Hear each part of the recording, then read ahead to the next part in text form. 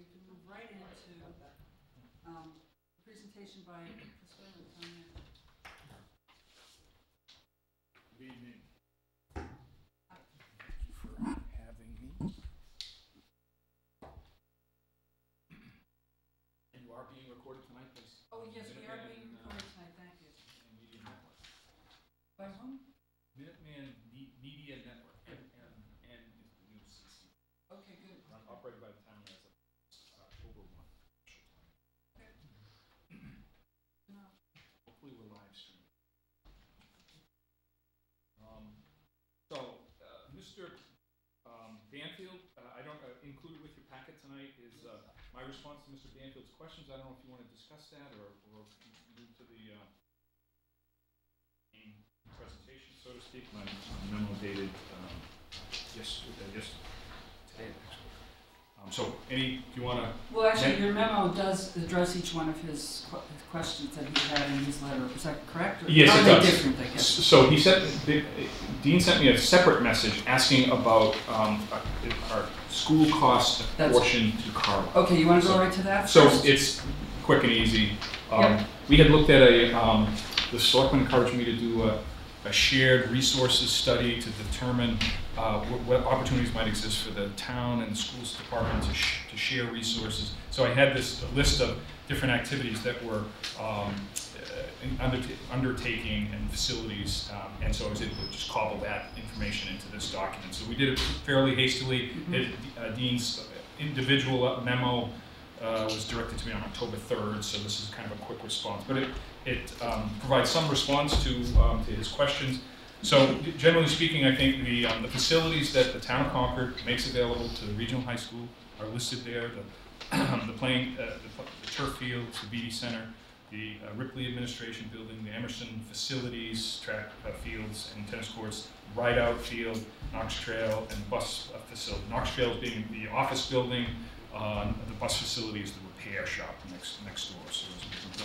Generally speaking, I think that the um, costs, say for Ripley, are apportioned, I think my understanding is the school department sixty percent of the cost of, of of something in the K through twelve system is, sixty percent is charged to the Concord Public School System, forty percent to the region.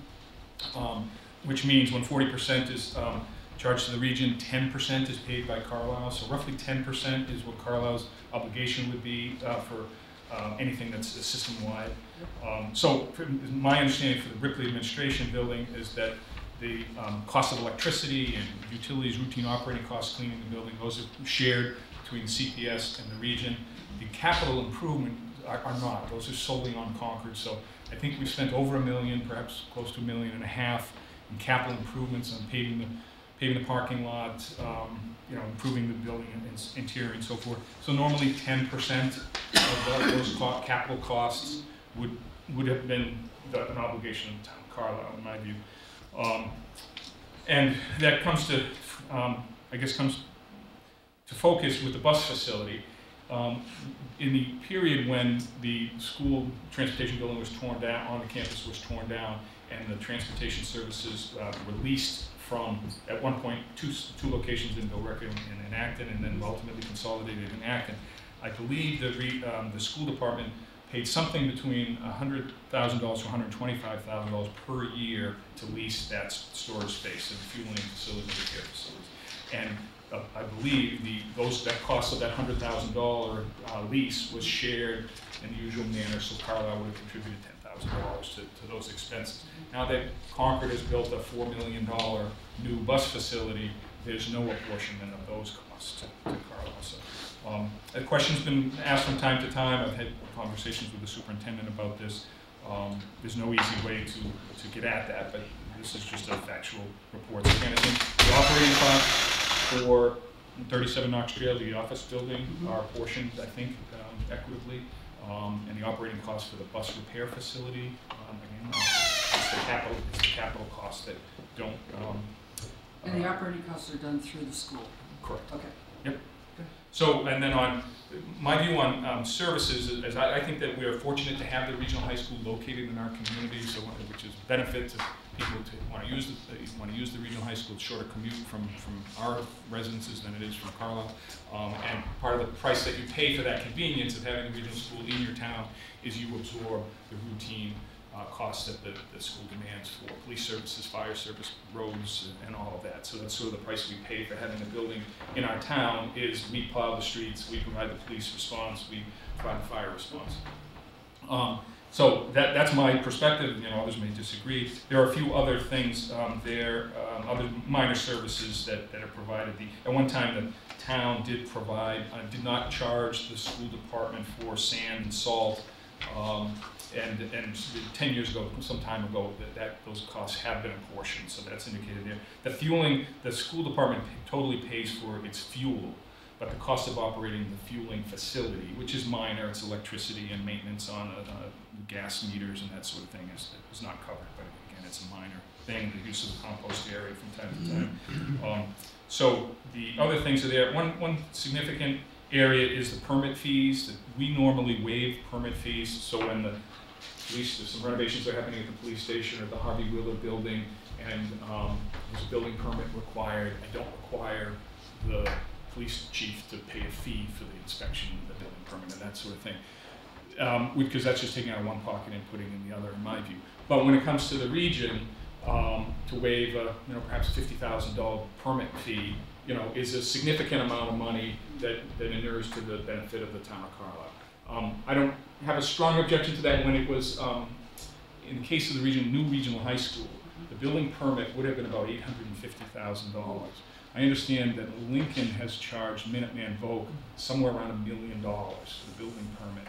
Um, and based strictly on a square footage size of the building times a certain dollar amount. Um, in that case of the high school, um, I negotiated with the school building committee payment of uh, hundred thousand dollars. And that was a difficult process, but I thought, um, town, the town of Concord staff spent considerable hours, um, um, uh, inspecting that project and, and addressing different issues that came up during the normal construction process. So there was considerable commitment made by the town during that process. So I raised the issue of building permit fees um, for, you know, non, non-town entities, whether it's be nonprofit groups or, or the region. And uh, so, a- and the select board, I think, uh, uh, ultimately decided that when a permit is uh, in excess of, and I don't recall if it was thirty thousand dollars or fifty thousand dollars, that they would like to discuss that, that situation in particular. So if- if there is an addition, ever put an addition on the high school or or something that ca- has a substantial building permit charge to it, the the board asked to be involved in the discussion. Can I ask a question? Um, You said that because we have the, the high school in our town, it would be normal for us to absorb things like police and fire, right? Do other, like, does Lincoln, does Sudbury absorb those costs for the Lincoln Sudbury High School? Do other regional high schools do, follow that same protocol? I don't know the answer to that. I know of a few cases where that is the case. I don't, I Mhm. don't know um, in, in other parts, in, on Cape Cod and some other schools I happen to be familiar with. Okay, that the, the town, the host community picks up the, the standard, um, police and fire response. The school resource officer is not a standard response, it's something that is funded exclusively by the town of Concord. The police chief's perspective on that is he really wouldn't want that to be a regional agreement on how a police officer is used and, um, and, and have to account for that person's time, say, because, um, another community paid uh, twenty-five percent of the salary, that, that then if they get twenty-five percent control over how the officer operates, or if, they- if he's reassigned temporarily to respond to an emergency off campus, if that's what the police chief needs that person to be, he doesn't wanna have to account for that. So he, in his view, I think the current arrangement is fine, he, he wouldn't, he's not looking for ten percent of the salary to be paid. Um, although you could argue that, I think that this, the high school, school resource officer is entirely exclusively in the regional high school, provide, doesn't Right. provide services for any Concord schools, so. And you're getting free serve, free police service. Correct. Much as the nonprofits, other, the churches and other not tax exempt properties in Concord also, you know, benefit from being here and, and, and don't uh, necessarily pay any taxes to, to pay for those services. so the policeman that's dedicated to the high school is paid for by Concord, right? But we didn't go to Carlisle and say, will you help, we didn't ask for any approval for them, even though they were gonna get some benefit from this. Okay, so we don't ask them if they want to pay for this, we just Um, do it. I, that's my understanding. Okay, okay. Okay, I, I have a question. So where does the ten percent, in the limited cases where you do allocate, where does that come from? It's the, um, if, if it's, uh, uh, something for the K through twelve system, such as the superintendent, who serves the K through twelve system. I believe the school administration divides up those costs, sixty percent for, um, the, the K through eight system, Concord Public Schools, and forty percent for the region. And Car- uh, Carlisle's population is about twenty-five percent, it's, um, it's more like thir- thirty, it's seventy, Rob- Rob- Seventy-five, twenty-five. So anyway, it's, it's twenty-five percent of the forty percent is tax.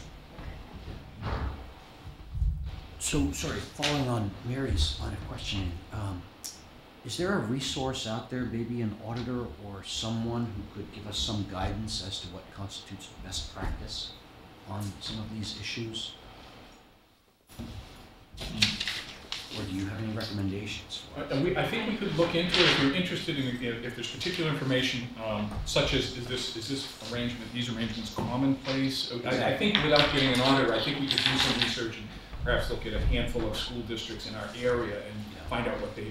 I think that's something we could, we could find out about. So I thought Mary's question was, was a good one, and, and, and I personally would would be interested in whether what we're doing is, is considered, uh, common practice. Right.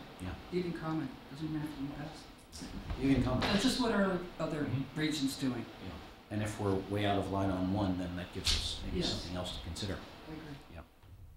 Okay, I will, I'll take that, you probably can carry. I have a follow-on question about the capital costs. Mhm. If we were to, going forward, like you said, maybe put an addition on the high school, and we wanted Carlisle to help us pay for part of that, what would be the mechanism to do that? Well, in, in the case of the new building, they, they obviously paid their full share, they borrowing in both town and minus the Right. MSBA grant and, and that sort of thing. Um, but so was the, that was the building permit question.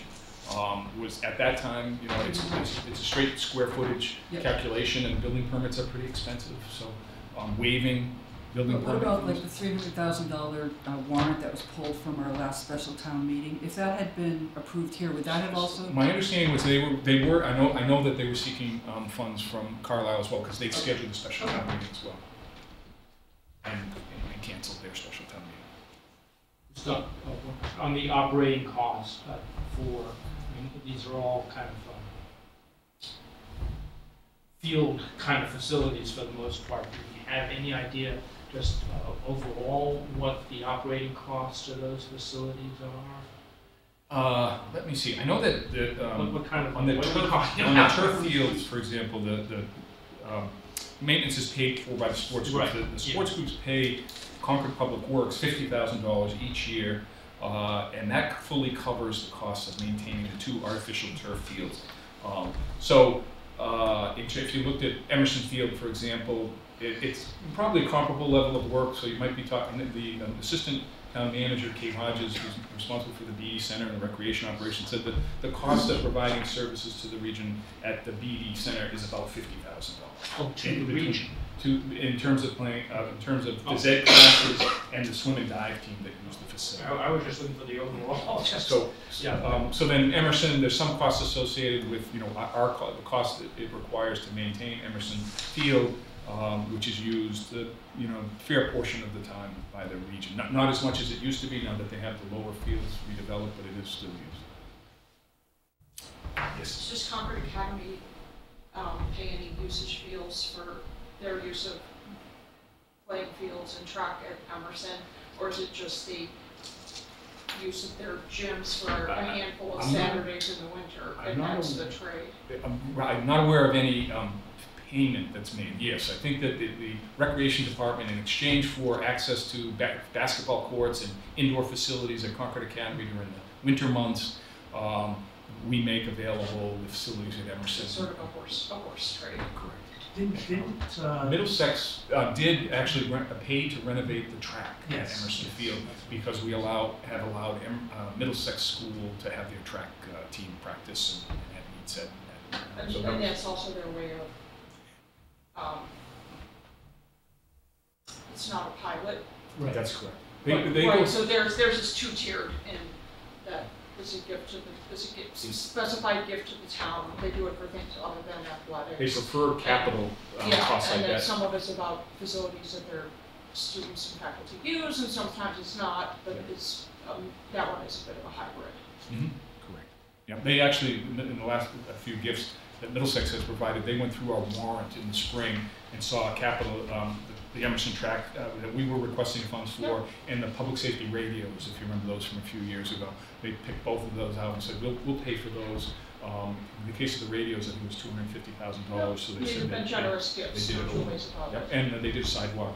So, um, unrelated to, uh, but it did, that's a sort of a public benefit that Middlesex also paid. Concord Academy has also made improvements.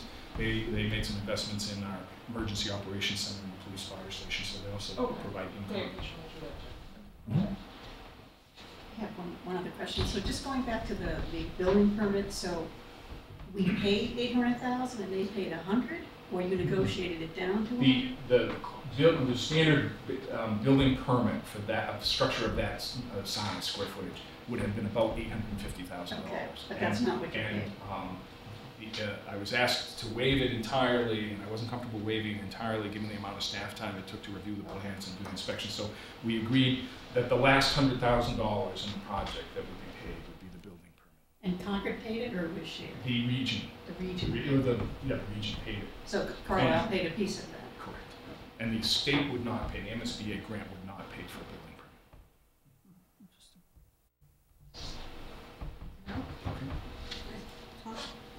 Good, okay, good, thank you. Great, thank you.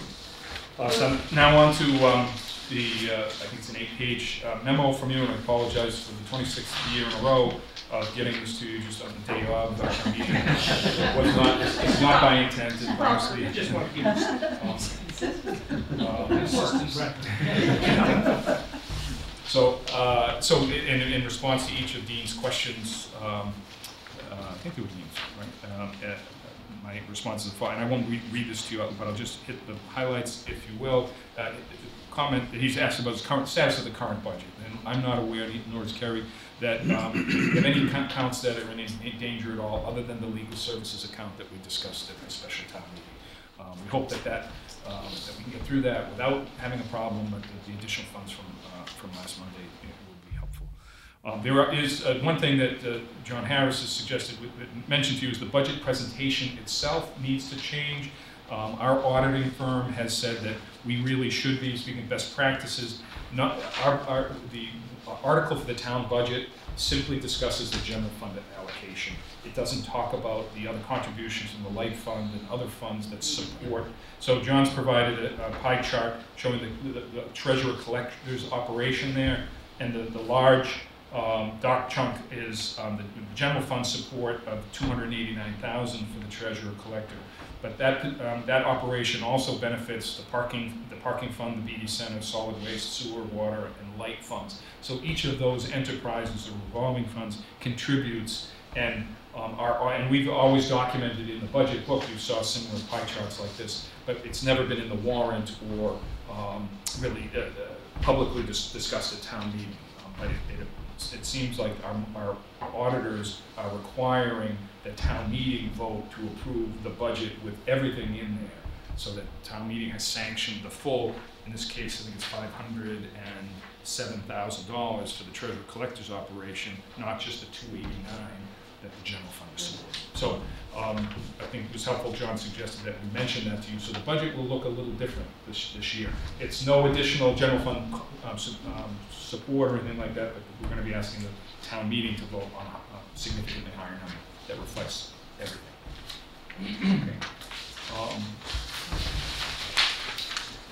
uh, Service status and anticipated changes in the next one to five years. Um, My view is that, that that we're offering the town, the current uh, um, program of services that we provide from the library to the police department and public works uh, reflects the needs and desires of the town as they have voted on those uh, programs over the years.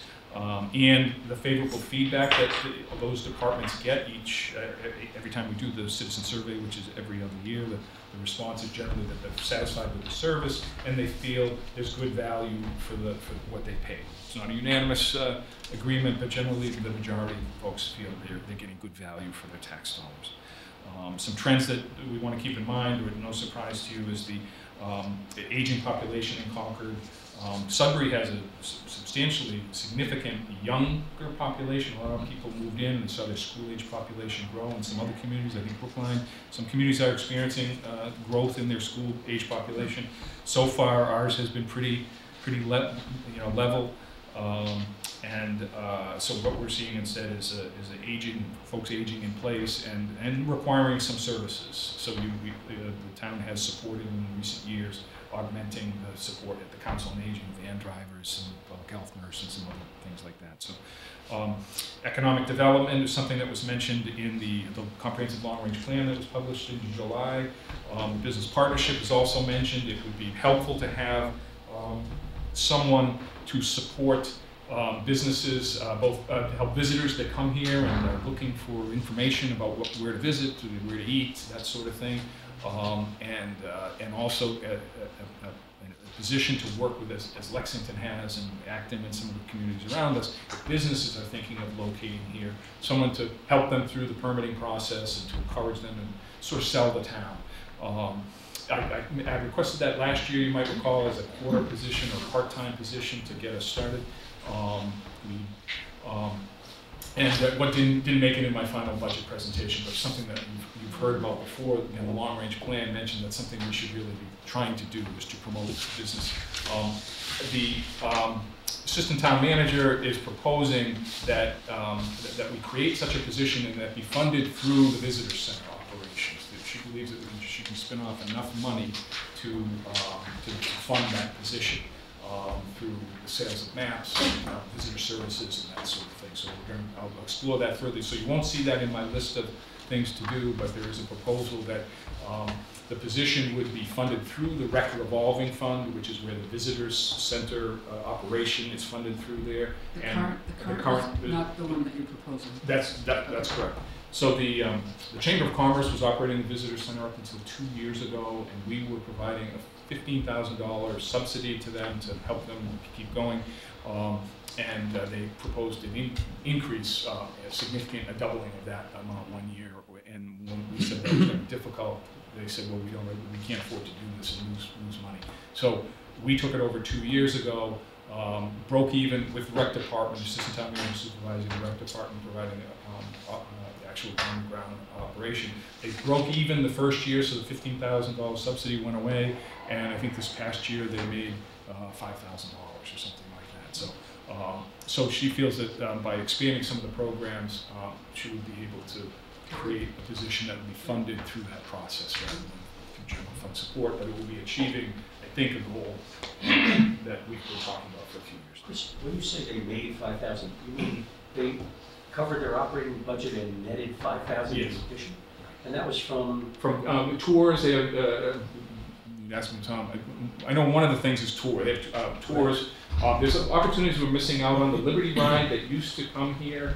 Um, there wasn't anybody from the visitor center to meet the, the people that were being dropped off, so they were just kind of wandering around.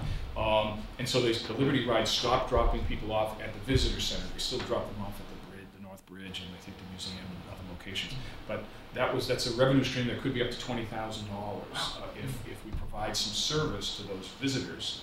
Uh, they're willing to pay and contribute, they pay to get on that Liberty Ride. Um, and, uh, and that's an opportunity. So there's a lot of things like that that, uh, that we can be doing to both su- support visitor services and, and not have to pay for it. Um, So more on that the next time I see you, um, if not, I so, uh. I'm sorry, but was it the Chamber of Commerce that was running it before? You said something about why businesses are struggling. Yeah. Well, they, you know, they have a conflicted role because they have um, members that aren't involved in visitor services, you know, that aren't restaurants and, and uh, hotels and that sort of thing, and they put certain demands on the Chamber of Commerce, and the visitor services was put certain demands, and they, they felt they, they couldn't do everything, so that they've gotten out of the visitor services thing, business much. Um, and um, this is significant. It used to be four hundred thousand dollars carry the um, bed tax and the meals tax. Uh, I think combined were you know uh, getting close to five hundred thousand dollars. So visitor services generate a lot of revenue for us. I guess every meal that's eaten in the restaurants isn't from the visitors, but there's a significant amount of revenue that's coming in from those visitor um, bed tax and, and meals tax.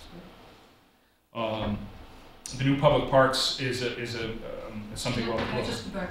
Sir. The uh, four hundred thousand that you, that you're proposing here for a visitor center in West Concord, did that come out of a, um, long-range plan? I think it's in the long, referenced in the long-range plan. It came out of the West Concord study, uh, West, West Concord um, Advisory Committee and others uh, interested in West Concord have been saying, particularly related to restrooms, is that currently there's no public facilities um, available, and we really should have some restrooms for. Aren't there restrooms at Ride Yeah, right, yes, they are, They- but that's not really downtown, so if somebody's um, walking around West Concord Center, um, you wouldn't want to send them to ride out to use the facilities. If possible, we can make, we can, if they're on a bicycle or something, we can make it known to them, and- and I think that those facilities get used pretty substantially by the many visitors at, at Ride But if you're at the, on, on the bike trail next summer, riding the bike trail, and you, you need to use the restroom,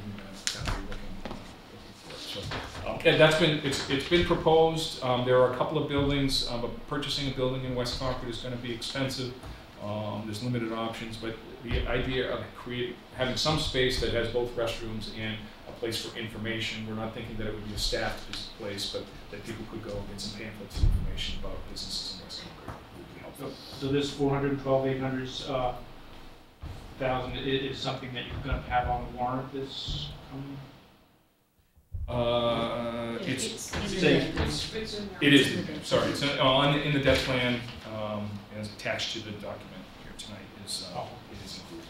Uh, But but I can't say that we have a building identified. We have a couple of are possibilities, but we don't have any specific uh, agreement with any. You wouldn't build one, you. We, we don't, haven't identified a site where we could, um, you know, one possibility, one question is, if we probably will have, we almost certainly will have restrooms at the Gerow land of, um, Warner's Pond Park. Yes.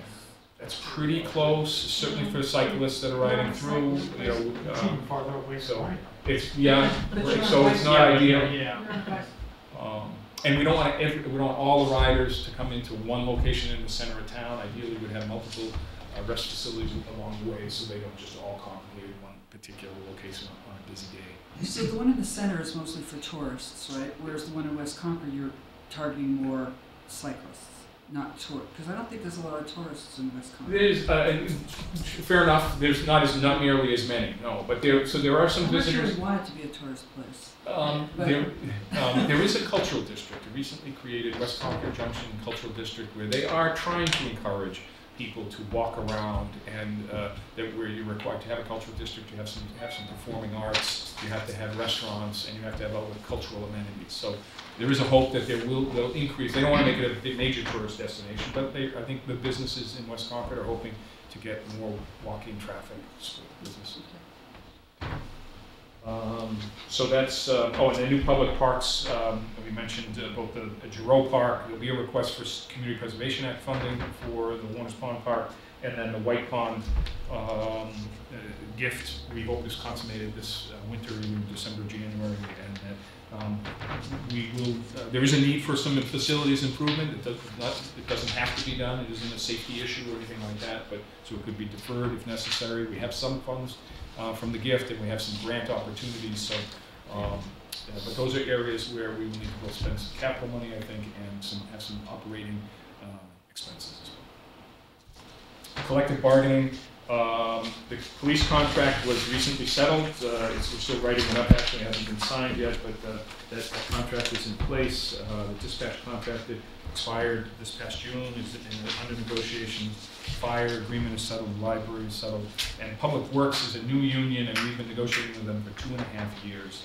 Um, and we're now in mediation, so it's, it's dragged out a bit. Um, I do think our recent wage um, settlements have been reasonable, within the two and a half percent range. Uh, we've granted slightly more than that for the public safety folks to get some language out of the contract that allowed us some greater flexibility in managing the operations, but they've been in that neighborhood.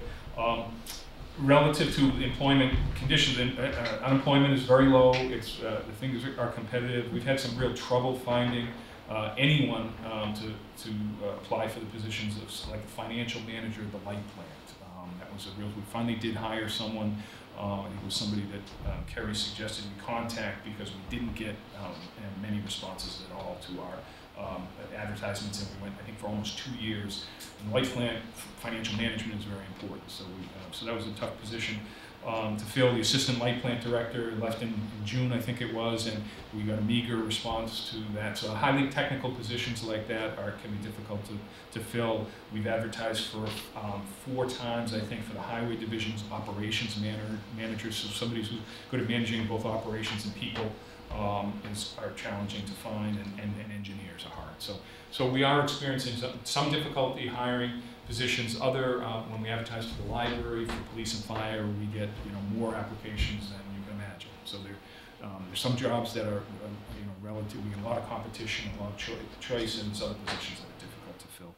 Um, and my, uh, my recent salary increases have been in the uh, two and a half percent range. Uh, the HR director is suggesting we consider a three percent adjustment. Um, you know, given the competitive uh, labor market, one of our cha- significant challenges is the percent of employer share of the health insurance, which you've heard about before, and, but continues to be an issue for us. We pay on average about 57% of the cost of health insurance. Uh, when a family plan total cost was $3,000 or $4,000, um, the, the difference between the 57% we pay and the 75 or 80% that Lexington pays was not a lot of money. But now, when a family plan costs twenty thousand dollars or so, um, if, if Lexington is paying substantially more than we are, it's really, it's a, it's a consideration that employees give, um, in, in, in coming over here. And our existing employees are aware that other communities, would- Carlisle is similar, uh, pays similar, um, as- we do and a few other communities do, but most other towns pay, uh, in, in the sixty-five to seventy-five percent range for health insurance.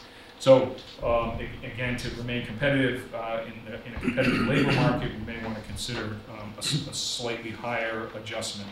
Um, And that- increase, many people- employees complain that their entire raise disappears with a ten percent health insurance uh, rate increase. It- it After taxes, what's left is almost entirely dedicated to, to health insurance, depending on what level of the salary scale you're at. Chris, is, is there a short explanation as to how we got as low as fifty-seven percent?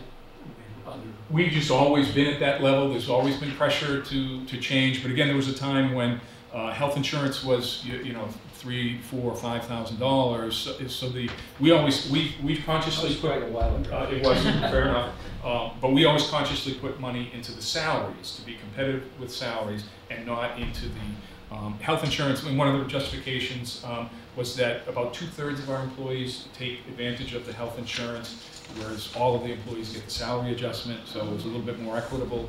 Um, so, uh, and, and but um, other communities um, I have tended to um, moving, they're moving down. Many of them paid ninety percent or eighty-five percent, and they're, and, and it was painful for them to, to have these ten percent rate increases, so seventy-five percent is becoming more common.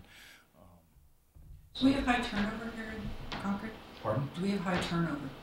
High turnover in, in employment Yes. positions, no, I, I wouldn't say so. Um, police and fire, are very slow, it's rare for people to leave to take a, a job in another community, they do retire.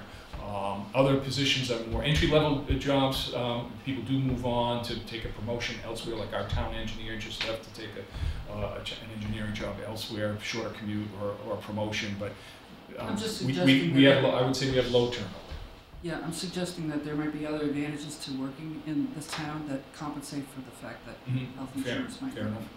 So one thing, we'll hear the same thing about the low contribution to health insurance when we get to the schools. Because schools are on the same uh, plan as the, as the town. And the high school is, is reimbursed at the same rate, I believe, um, as, as the town Yes. also. Although they they don't necessarily have to be, but they, uh, they bargain for that. So you will hear it, and we, we hear it, and we continue to resist it. We do uh, try to provide uh, wage, wage compensation, as well as uh, provide a, a, a good, comfortable, welcoming uh, work environment where you get trained, you have current technology, you have other attributes, and the, uh, the health insurance cost is just one of the considerations among many. Well, you know, the reality is that the Globe big article that this is a public sector phenomenon too, where people are seeing all of their salary increases being swallowed by the rising cost of the insurance premium that they pay. And whether it's a higher deductible or more that's coming out, that, you know, it's a burden that's shared by the taxpayers who don't work in the public sector too. It's, Right. you know, common to all of humanity. Yep, yep. So, you know, we share their pain. Uh, Fair enough, one selling point I, I refer to is the OPEB. Um, We, uh, you know, it, it- also private sector employers don't get um, post-employment health insurance paid, whereas public retirees do at fifty percent. And uh, that's an uh, an an ongoing obligation that had been unfunded, but Concord had, is one of the leaders in funding that future healthcare costs for retirees, and so that's a selling point also. I think that some of our money has gone into funding the OPEB, um, so, and that, and that, I don't recommend that we change our healthcare contribution until we're in much better shape with the O- on OPEB and closer to fully funded. That's my idea. Okay? Okay, just since we're on the topic of OPEB, one of the questions I've asked uh, is whether, um, obviously, given the trajectory of that cost, the question uh, comes up, is it sustainable? And the question I've asked is, is there anything that can be done to bend the cost curve in far future years to make that more manageable uh, years out? I might defer to Kerry on that. Kerry, if you want, you want to join me here? I, I guess I framed it in the, in the context of is, a- is a new hire today going to say the same OPEB deal as one hired maybe ten or fifteen years ago, and, and is that a, is that an unreasonable question to ask? Um, I don't think that's an unreasonable question to ask. I think that's something that we're looking at, whether or not we have the ability to do that. Um, I think what I would, how I would respond to your first question is, I think the steps that we have taken to implement the high deductible plans will have a positive impact on the OPEB liability.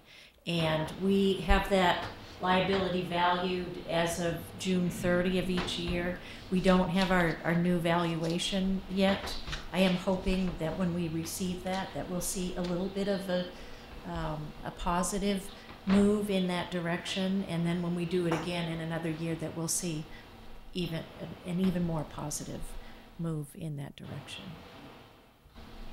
At one point, we were thinking that if we ever achieved full funding of the retirement system, then any funds that we had been allocating for retirement could go to OPEB. Um, It's a little bit more off in the, just, uh, off in the future, tw- 2029, when we're currently targeted to be fully funded with the um, retirement system. I don't know how the stock market did today, um, but. Down a lot. But, uh, so, at some point, that might be a, a source of revenue 10, 10 years out or so, where if we do achieve full funding, that we can reallocate, reprogram those retirement funds towards the OPEB. So it's off in the future. Thank you, Kerry. That question, um, so a lot of the retirees are on, on Medicare. right? Yes, yeah, over 65. Yeah. Um, and pay Medicare premium. Of course, health insurance, regular, you know, health insurance premiums are, are rising. Um, how would, would, uh, on, on terms of OPEB, would increasing Medicare premiums, um, have a detrimental effect on our uh, ability to cover the uh, OPEB liability? Boy, this is a tricky one. Because, you know, there, there, there is that train coming into the station or something. So the town offers um, Medicare supplement plans, Yeah, and so the the va- that would be factored into the liability. Um, so increasing, are you saying an, an increase in Part A or Part B costs? right, yeah, you pay a premium for that. Well, so the the benefits, And so if that premium were to increase, right? then presumably that our OPEB have to cover that. So And, and, and, you know, there's this issue about Medicare. I mean, Medicare funding is an even more uh, dicey situation than Social Security. And, uh, you know, if they were to really raise the premiums to deal with that issue. So the, the retiree pays those premiums. The town shares in the, um, the supple, the premium of the supplement. Okay. So the town, the OPEB is not even covering fifty percent of the Medicare right, premium it's, that people, it, oh, okay. it's, it's covering, uh, it's Just valuing the supplement, okay. benefits that are offered under the supplement plan. Okay. That's what it's like in the private sector, too, right? In the private sector, I don't think you know that. They don't get it. No, Yeah. but you pay, your own premiums for part of your Yeah. RFP. Well, yeah, That's, so that's not any different. I don't know, yeah, too many people, but All right, I'm sorry. paying the premiums while they're employed though, so, yeah. Uh, so I am still on page three. Um, I did, and I, I talked about the salary adjustment, so the last two paragraphs in that, in the middle of the page there refers to the Massachusetts Pay Equity Act, which took effect on July first. Um, requires employers, public employers, to pay, um, equitably relative to gender. Um, so, uh, and we're in the process of going through our, um, pay classifications. We group people, and, and similarly, you've seen in the warrant, the, the different job titles, and we classify people based on what we think are the responsibilities, and to some extent on the market. Um, and uh, the Pay Equity Act says market doesn't matter. You can't, you can't, if you need, if you need to hire engineers and you're, you know, paying, you need to pay both your women engineers and your men engineers equitably. But similar, they look at similar jobs and say the building, the building commissioner, that's a lot like an engineer, uh, safety related, structural, um, you should be paying that position equitable to the engineers. And so, so, and other, compare other positions to one another, and if we find a male-dominated, um, or female-dominated, we may have to make some equity, then the- the equitable adjustment is you increase somebody, whoever's low, it's not that you reduce somebody's pay, you have to increase somebody's pay. So there are, we, the HR director's going through that, personally, we haven't used a consultant. Um, she generally feels, I think we're in pretty good shape, but there probably will be some pockets of positions where we either have to start hiring people in at a higher level or maybe adjust some people's pay to be sure that they're equitable. So that's a, that's a kind of a wild card for, uh, for us that just, just started. Um, and we're, we're new, I think we're being more active, proactive about implementing the law than some other places are just waiting to see what happens. It's only prospective, though, it doesn't, Correct, I don't think it is retroactive. I think and it doesn't cover retirees in any way. Correct, no, absolutely. Uh, and then I mentioned the minimum, the minimum wage law, uh, that had, the Massachusetts minimum wage law eventually gets the minimum wage up to fifteen dollars an hour in twenty twenty-three. Municipalities are exempted, but we generally try to comply because van, hiring behind van drivers or camp counselors or library pages for below minimum wage would, basically wouldn't be able to get any of those people, I think. So that's another consideration that it, it won't be a big impact for us this coming year, but in, in the future, um, some of our low cost positions will have to be compensated at a higher level. Uh, uh, question number four, uh, was funding levels, highlighting programs that I think should sh- continue, but adjustment in funding, um, that might be necessary. Pub- public parks, uh, we, we just acquired the Gerow land and hope to i- improve it and ma- make it, uh, a, park that people can walk to from West Concord or bike to on the Bruce Freeman Rail Trail, and it'll be an enjoyable place that's connected to, uh, conservation trails and lots of open space. Um, and, but we will, we do expect to uh, build some facilities, make, and hopefully, you know, maybe some, make some boating available, fishing, um, uh, and uh, a playground. So, um, and there'll be some costs associated with both the capital improvements and the maintenance. Similarly, White Pond we're- is, we're receiving as a gift, but it needs some improvements, and then there'll be some ongoing maintenance. So I, I mentioned that, uh, as well. Um, the, uh, second paragraph, there's the fire chief is requesting. Sorry, Chris, just one second on, on, on Gerow. Is that considered just a summer facility? No, I, I imagine there'd be cross-country skiing and, There you know, is. other, you know, ice Ice fishing. and- fishing, Yeah, other, other Pond activities. so- hockey? But, you know, hockey, the- Yeah. so the, the fire chief doesn't encourage pond. Yeah, I'd rather see you skate at Emerson Field. They've been But- snow blowing the pond for years. So there'll be park, off-street parking and easy access and. So I guess my question is, would the parking lot be plowed, Yeah, I- accessible in the I would winter? ex- Yep, I, It would be. I would expect that. Okay, great, thank you. Yes. Will there have to, will there have to be, uh, security people or anybody to safety No, I, I don't expect that. because it's a water facility and? Not, um, I think we would post no lifeguard on duty at times, you know, in the off-season. And, and, and actually, we, when I mentioned, originally when we envisioned acquiring the Gerow property, we did talk about having a beach and a bathing, um, facility. But it was going to be very expensive. We would have to dredge the pond, bring in sand. That grade changes substantially. It was gonna be difficult to, to, um, but worth the try until the White Pond opportunity came along. So um, it isn't that we're gonna, you know, not invest in Gerow, I think we will, but I, the focus might be more on, on watercraft and uh, fishing than on swimming. Um, and, uh, but and White Pond has had some trouble over the years with the lifeguard chairs getting thrown in the water, a little bit of vandalism, picnic tables floating away. Um, so we'll, we will, we don't expect to have um, guards or anything like that, but we may have to do some spot checking or, or take some you know, proactive measures to protect our equipment. Uh, let me see.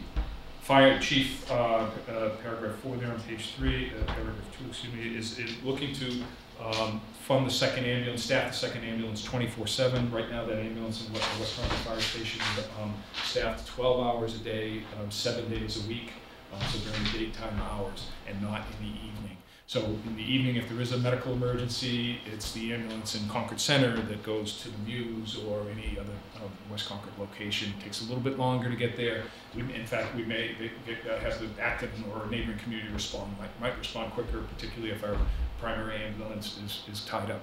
Um, so the fire chief think it would be uh, improve the service in West Concord to staff at 24/7. That requires hiring uh, four additional firefighters, um, and, and um, and he, uh, we do have the Mews, uh, so I call it the Mews Stabilization Fund, but it's called the Emergency Response Stabilization Fund that was set up to provide public safety, uh, to address public safety issues, um, particularly in West Concord.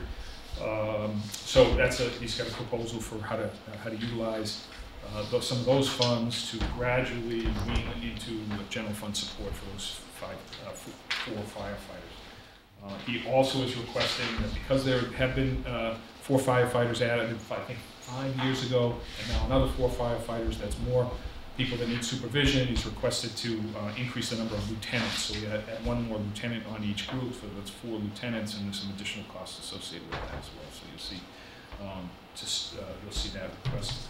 The police chief uh, has renewed his request for additional staffing, which you saw last year. I wasn't able to provide the funding for it, but he, he's mentioned school resource officer, which we talked about in uh, special town meeting, but that would, his hope is to have that on an ongoing basis. Uh, but he would also like two other police officers, similar to his request last year, a detective to assist with the opioid uh, problem, and a daytime uniformed officer to deal with the, you know, the calls that just keep increasing for services. Um, The capital program. Sorry, quick question on, Sure. How, how big is the opioid like here?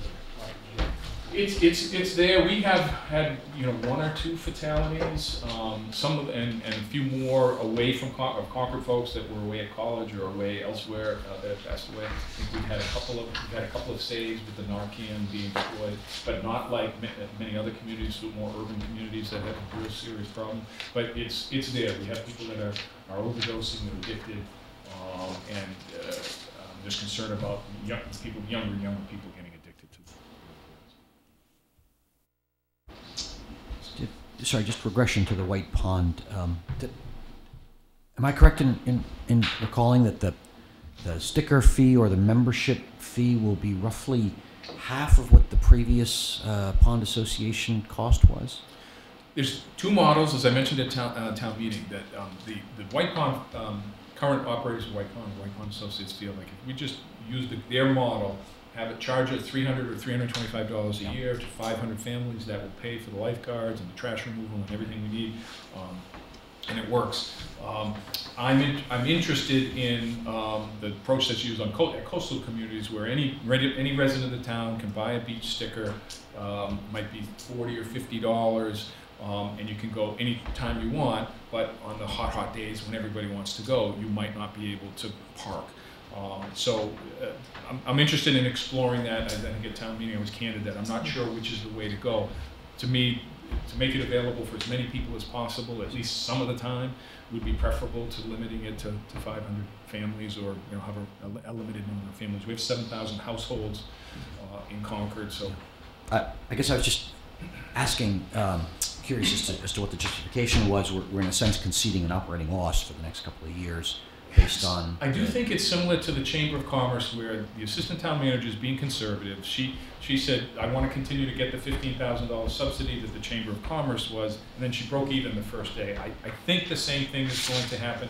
We're going to have swimming lessons. There's- She's got a few ideas on how to raise some revenue. We're using the beach, and, um, but to be conservative, I'm, I'm projecting we, we asked them to secure thirty thousand dollars for the first year of operation. I hope, I'm, I'm proposing twenty, uh, for the second year, and then, um, uh, thereafter it dim- diminishing. So that's my hope. Okay? Uh, so the capital program, uh, is, that's, I think John's provided a summary there of, of capital outlay. We spend about two million dollars, uh, two percent of the operating budget on capital equipment such as vehicles and computers and sidewalk construction. Um, the general fund debt, uh, list, I provided you the projects that we're recommending for the coming town meeting. The enterprise is mentioned there, we don't talk about that much in this conversation.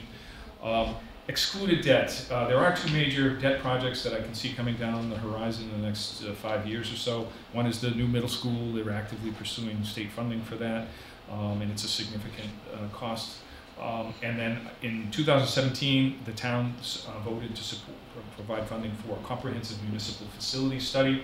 Um, that study is, uh, consultant's been hired, this consultant is actively um, working on the study to, to quantify our needs for space, our needs for space perhaps over 20 years, and to look at uh, ways in which we could uh, consolidate offices and have uh, more sustainable practices. We have we have a far-flung operation. We have a lot of build, a lot of people in a lot of buildings that sometimes have to get together and meet. They're sitting in traffic uh, to get trying to get to meetings. Um, so I think a, a central municipal office building might be uh, more efficient. Um, and uh, we also, so that's a, something that we'd like to discuss. The new public, a new public safety complex um, uh, is something that the, the police fire station was 1960s vintage, and it wasn't really well built at the time. We find continuously finding things that don't work and problems with it. So um, the police chief has requested more space. The fire chief, uh, he might be looking to have another police station somewhere else and, and turn the, the rest of the building over to the fire department. That's one concept. Um, so we'll be discussing that, and then the Public Works Complex on Keyes Road needs modernization. That's 1950s vintage, so we've, we've kept it up well, but most communities around us have their vehicles under cover in the wintertime. It's, it's hard on the vehicles when they've been out in the, you know, 10 degree weather or whatever to try to start them, and it, it, it's, it's hard on the vehicles, so they, they last longer if they're under, in, in, in a garage, as you find in Lexington and Sudbury and Weston communities around us. Um, so uh, that's a lot of construction that would have to be phased over time. There'll be a big community dialogue on it, but I think we'll have a report that will tell us what our needs are, and we'll make some suggestions uh, later in, in the spring of next year. So, so Chris, um, on the, uh, on all these construction projects, uh, where do things stand on our proposal for a permanent building committee? Think Mr. McCain um, has it on the select board's agenda for the 29th, so not this coming Monday, but two weeks after that. And It'll be a preliminary conversation, a draft, reviewing Mr. Tarpey's uh, letter and the draft committee charge, and I have no idea how the board feels about it, but but we'll have the conversation. Okay.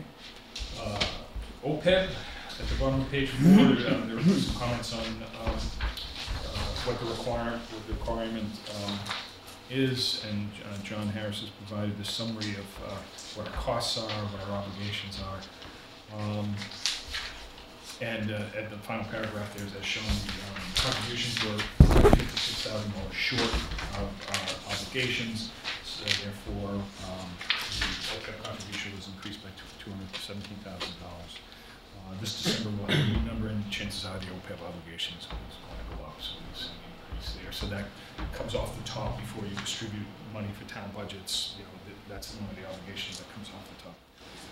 Um, So it's running about two hundred thousand? So What? Right, it's run- additional, The the increase would in about OPEB, two hundred thousand, if we had to put a, it looks like it was one fifty-six, if we go back and look at two thousand seventeen, and then, The underfunding was one fifty-six. Right. I, I, I can look at it, we'll go through it after, Okay, after okay. this. So we have three point four seven in the bank, or, or more than that? Are those the assets? Are those the trust fund assets, three point four? The trust fund assets are approximately eighteen million dollars. Oh, but tho- that's based the on income statement, contributions. sorry. Based on contributions of what?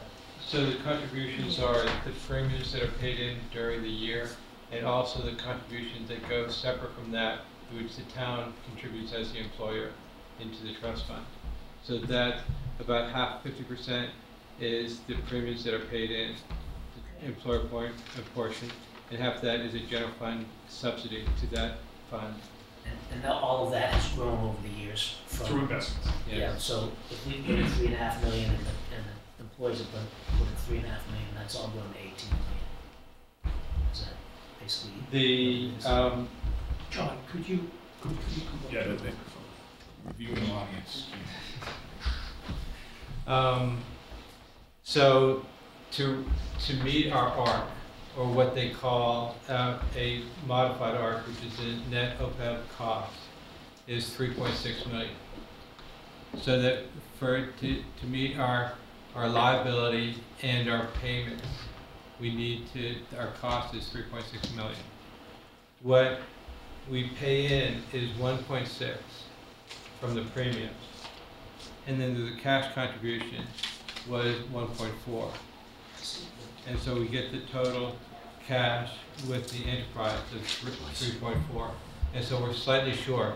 Um, it's not a large number, but because we were short, um, in the last valuation, which was last, uh, two thousand seventeen, that we have increased the contribution that the town puts in, so that we make up that shortfall. And if we were just paying as you go, you would just paid, be paying the one point six million, not the one point four. In addition, Exactly. which many communities are just paying, doing the pay-as-you-go arrangement, not setting any money aside for future obligations. Uh, And then just quickly, the, the net OPEB obligation, how does that compare with the assets in the OPEB fund? What is the relationship between those? So the relationship with, of that is that there is a um, accrued um, annual, there's accrued, actually accrued liability, and there's actually accrued assets. And then the difference between is the unfunded portion. And it's probably approximately, and I'll be happy to have Kerry help me out with this, it's approximately thirty million of liability and approximately sixteen or seventeen million of assets at the moment. Yeah, we are awaiting our six thirty eighteen valuation, but as of six thirty seventeen, we were around thirty percent funded. So what is the seven million dollar figure that we see at the bottom? That is because we started with a not funding the OPEB cost. And so that's the amount that, the, the difference between the net OPEB obligation that has not been funded over the years, once we started making, making this, this model. So what we should do is pay more than our net OPEB, the change in the net OPEB ob- obligation, that should be a number that we can pay down this, um, the cumulative net OPEB obligation.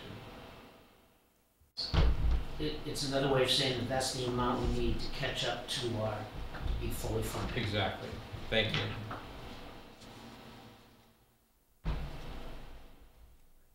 To So to the- be funded under the To be requirements, not to funded- hit the thirty Not, not to hit the thirty Two million. different things, Right. right? Two very different Very Right, different yes, things, we right, fund- But we are gradually, we are fund, fully funded is less than the thirty million approved liability? We are, what this will do, uh, what this will do is if we meet the, the annual OPEB cost, we will gradually pay off the thirty million. Um, and so that is the, if, if we're zero in our net OPEB obligation, we will gradually pay off the thirty million, but we need to gradually, we need to pay off the, what you were saying is the, the cumulative that we have still in deficit. But we are catching up, so. We are catching up. So, so the funding ratio is about thirty percent, we think. And do we have a target for where that might be based on what we think we have to contribute over the next three to ten years? Is that the way to look at it? So we, what is our, will be fully funded in what, what year? I thought I heard Kerry say we're about thirty percent funded Right, about currently. thirty percent funded, um, I I think, I Which think is we're actually using high a, a for- twenty forty, uh, funding schedule Right. for OPEB right now. Um, OPEB is, the- it's, it's different than, um, and I don't wanna get too far into this because I'll be over my head before, before I know it, but, um, we're just beginning to enter into conversations with our actuary and perhaps we'll be hiring an investment advisor to talk about the, the funding schedule and funding policies, because this is different, this liability is different than the retirement liability, because there will be a, retirees make a contribution to this benefit. So where you're trying to get close to hundred percent funded for retirement to consider yourself fully funded, you don't have to get as close with OPEB to be considered fully funding, and that's something that we need to begin to explore. So where, where we will be as of six thirty eighteen, uh, something over thirty percent, the market was gangbusters over the last twelve months. Um, we, we made, we met our arc for all intents and purposes, so I can't say will we be thirty-two percent or thirty-three percent, but we certainly are making progress. I think the, the one thing to, to point out, and I'm glad John explained this chart because I just don't even look at this chart, it, it's very hard to understand. But when we put together um, what we estimate our annual required payment, so for fiscal 20, we're putting together or making an estimate of what we believe we need to contribute based on the valuation as of 6/30/17. So when, when he's mentioning in here that we were short, we used a 6/30/2015 valuation to put together the estimate for, for the payment for fiscal 17. And then when the new valuation came in, there was a difference. So I just want to make sure everybody understands, the, the intention is that we are fully budgeting the ARC based on the valuation that is available to us when we're putting the budget together. But things happen, the market changes, we might make changes in some of the assumptions, and that impacts the next valuation. So we have a two-year time lag between the data that you're using and what your, what the numbers in the budget? We do, yes, we do. Um, and, and I don't think, based on our budget cycle, I don't, I don't think we ever span that because we're, um, you know, we'll, we'll be on top of the actuary to get the report by Thanksgiving, more likely by the end of December for, for six thirty. And so we can't get him, he does great work, we love his work, he's very helpful, we can't get him to work any faster. Um, we can't, we can't get that valuation ready for this budget cycle. And Can I ask, there was a comment that uh, the employees contributing to this fund, the employees don't contribute. Not contributing to the fund, but contributing, they continue, they pay a portion of the benefit that is provided. At the from- time of, during advertising. I- i- When in retirement, you're pay, you're paying something towards your retiree health insurance benefit. So it's different than your retire, your pension benefit, that you're not paying anything, you're just collecting. Okay. you. Thanks, John. Uh, So that's OPEB. Uh, Town meeting directives, um, a question about uh, citizen petition articles and um, provide insight into how citizen petition articles might influence budget development and that sort of thing. Uh, My response there is that um, there there have been some citizen petition articles that have requested funding. Uh, One for the energy study, that was a one-time, one-off, uh, $100,000. And then uh, an ongoing, the um, request for the sustainability director at $100,000 on an ongoing basis.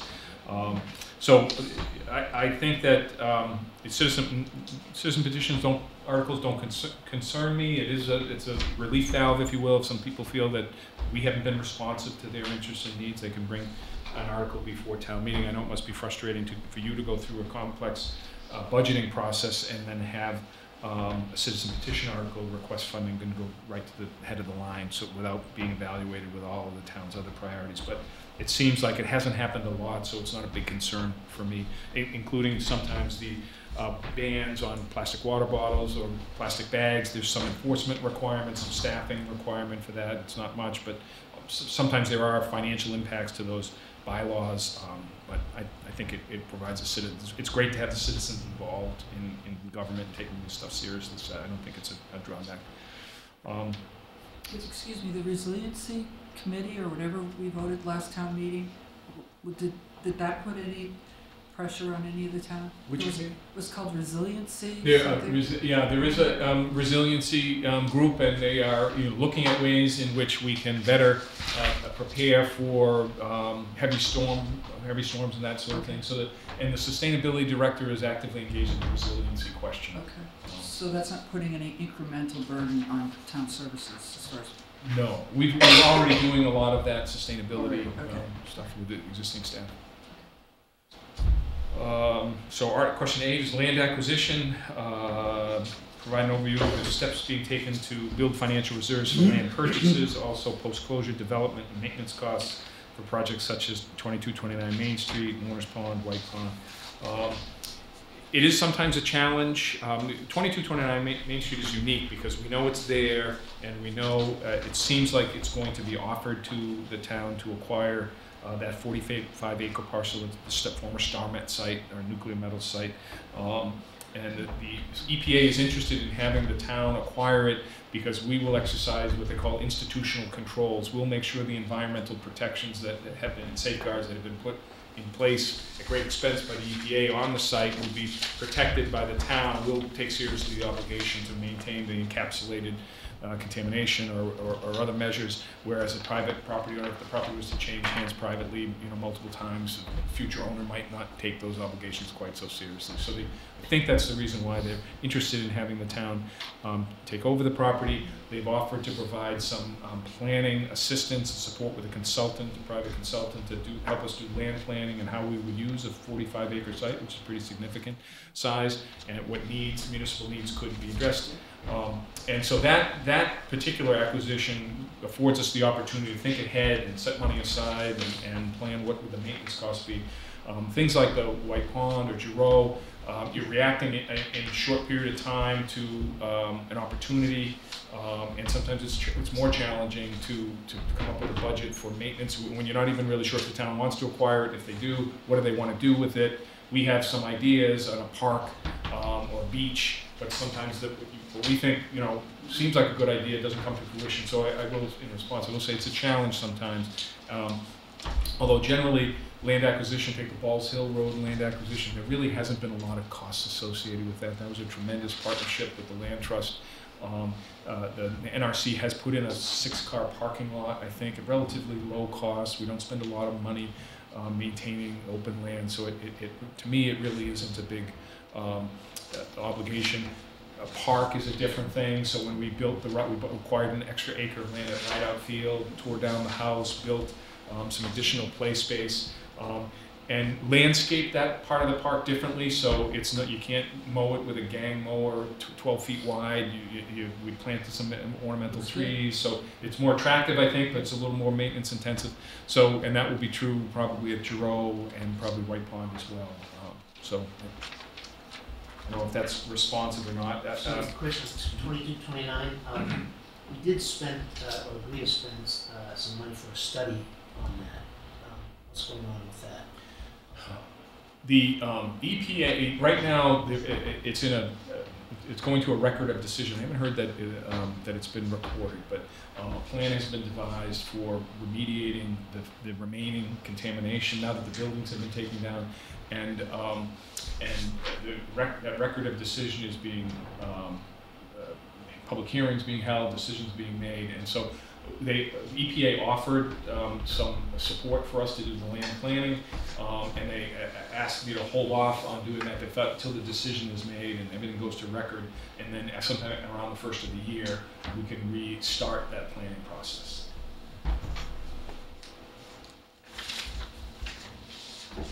Okay, so that's land acquisition. Sorry, just one question on that. Emerson land? Oh, Emerson Land, that, that is something that you'll see, um, the Emerson uh, folks approached us almost at the exact same time as the Balls Hill Road opportunity came along, and we said, you know, we've got eighty acres, um, you know, down along the river was, was more critical to us, so they were patient, the Emerson folks. What's happening at Emerson is they, the Emerson House, they own a, a couple of building lots on either side of the Emerson House with frontage on Cambridge Turnpike. Uh, they own the uh, acre or so of land next to the police station. It's a pump, they call it the pumpkin field, I think. It's planted in different things, but it's uh, near the ice house. There's an open land there. And then there's some wetland between the Emerson house and the police station. It's wet back there, but that's where the Thoreau Amble Trail is, and there's some uh, boardwalk bridges back there. So they've asked us to, the town, if we would consider acquiring uh, the interest, the conservation restriction uh, or the fee interest in those properties, um, for- and, and precluding them from development, um, and to, the proceeds of, of that, those sales would go into an endowment to maintain the Emerson House on an ongoing basis.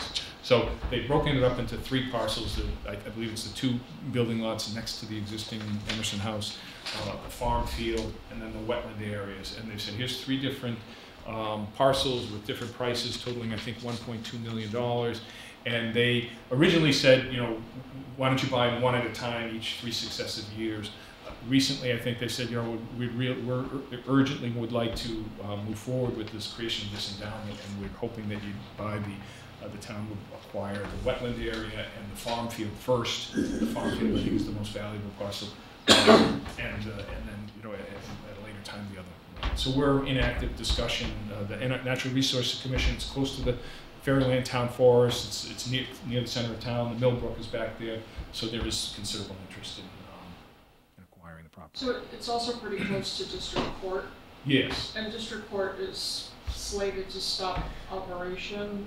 Is that accurate? I've, I've heard that, um, I think our, um, uh, folks that are at the court regularly have heard rumors from some of the staff that work there that, that it may be consolidated and, uh, and, um, the activities there may go elsewhere and the, and the court may be surplus by the state and the building may be available to us typically at market rate, not for free, but, um, and I think we would be interested in that. I mentioned a municipal, a municipal office building, that might be a good site for a municipal office building um, it- which would combine the people in this townhouse with the 141 Keyes Road and perhaps some other uh, operation as well. Meeting some of the police and fire needs that. And what police and is there fire. nursing homeless needs in there? Yeah, it's, uh, yeah. Yeah. So, Using very efficiently all space available to them in the building, and then some, right? Yep. Yeah, okay. Yep. so we're, uh, we- I I have not heard, I think we've got, uh, contacted Cory Atkins' office, and she hadn't heard anything about it maybe a year ago. Okay. Um, So I I haven't heard any recent uh, discussion about it. We- We'll keep, we're keeping our eyes open on that. Concrete's out of the court since Yeah, colonial times. yeah, it's been quite a long time. I think But this, these this was. district courts in every town would, because you had to take a horse and buggy up to the court. This building was the courthouse for. Right. So, yeah, the Commonwealth had three hundred some odd courthouses at one time. That's why we have so much traffic, because of all the roads. Isn't the fact that a lot of our building, public buildings are just spread out is because they're done opportunistically? Yeah, I think, yes, As opposed to looking at a plan and saying, do we really need the court, is the courthouse the right place? Right, yeah, fair enough. That, that's what this comprehensive Is plan why is why I supposed to do. hired a consultant.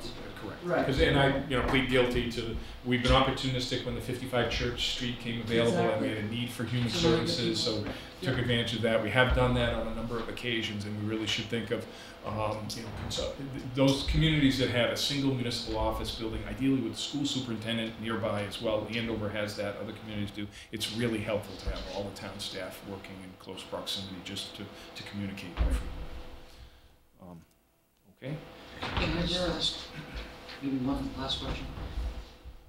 Has the town ever done an analysis of, of perhaps selling some surplus land that's not, you know, nice beachfront or conservation land or just surplus to requirements that could be sold for maybe another purpose, maybe for a little housing or something else? We did, uh, I'm, during my tenure here, I, I can think of one instance where that happened, that was um, on Strawberry Hill Road, the Finnegan's Way. That was owned by the town, acquired for school purposes.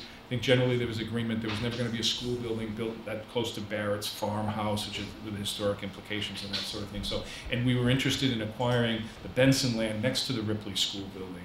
So we sold, uh, the, um, Strawberry Hill Road land, uh, that became Finnegan's Way and used the proceeds of that sale to purchase the Benson land to create a bigger campus next to Ripley so that if, if there ever was a need for a new school on that site, it's a significant size campus and that, that could easily host a, a school uh, as well as school administration. So we did in that case sell, but that's the only instance I can think of where we uh, uh, did that. We haven't looked at it comprehensively to list all of our properties and see which ones Do you think that would be a worthwhile endeavor?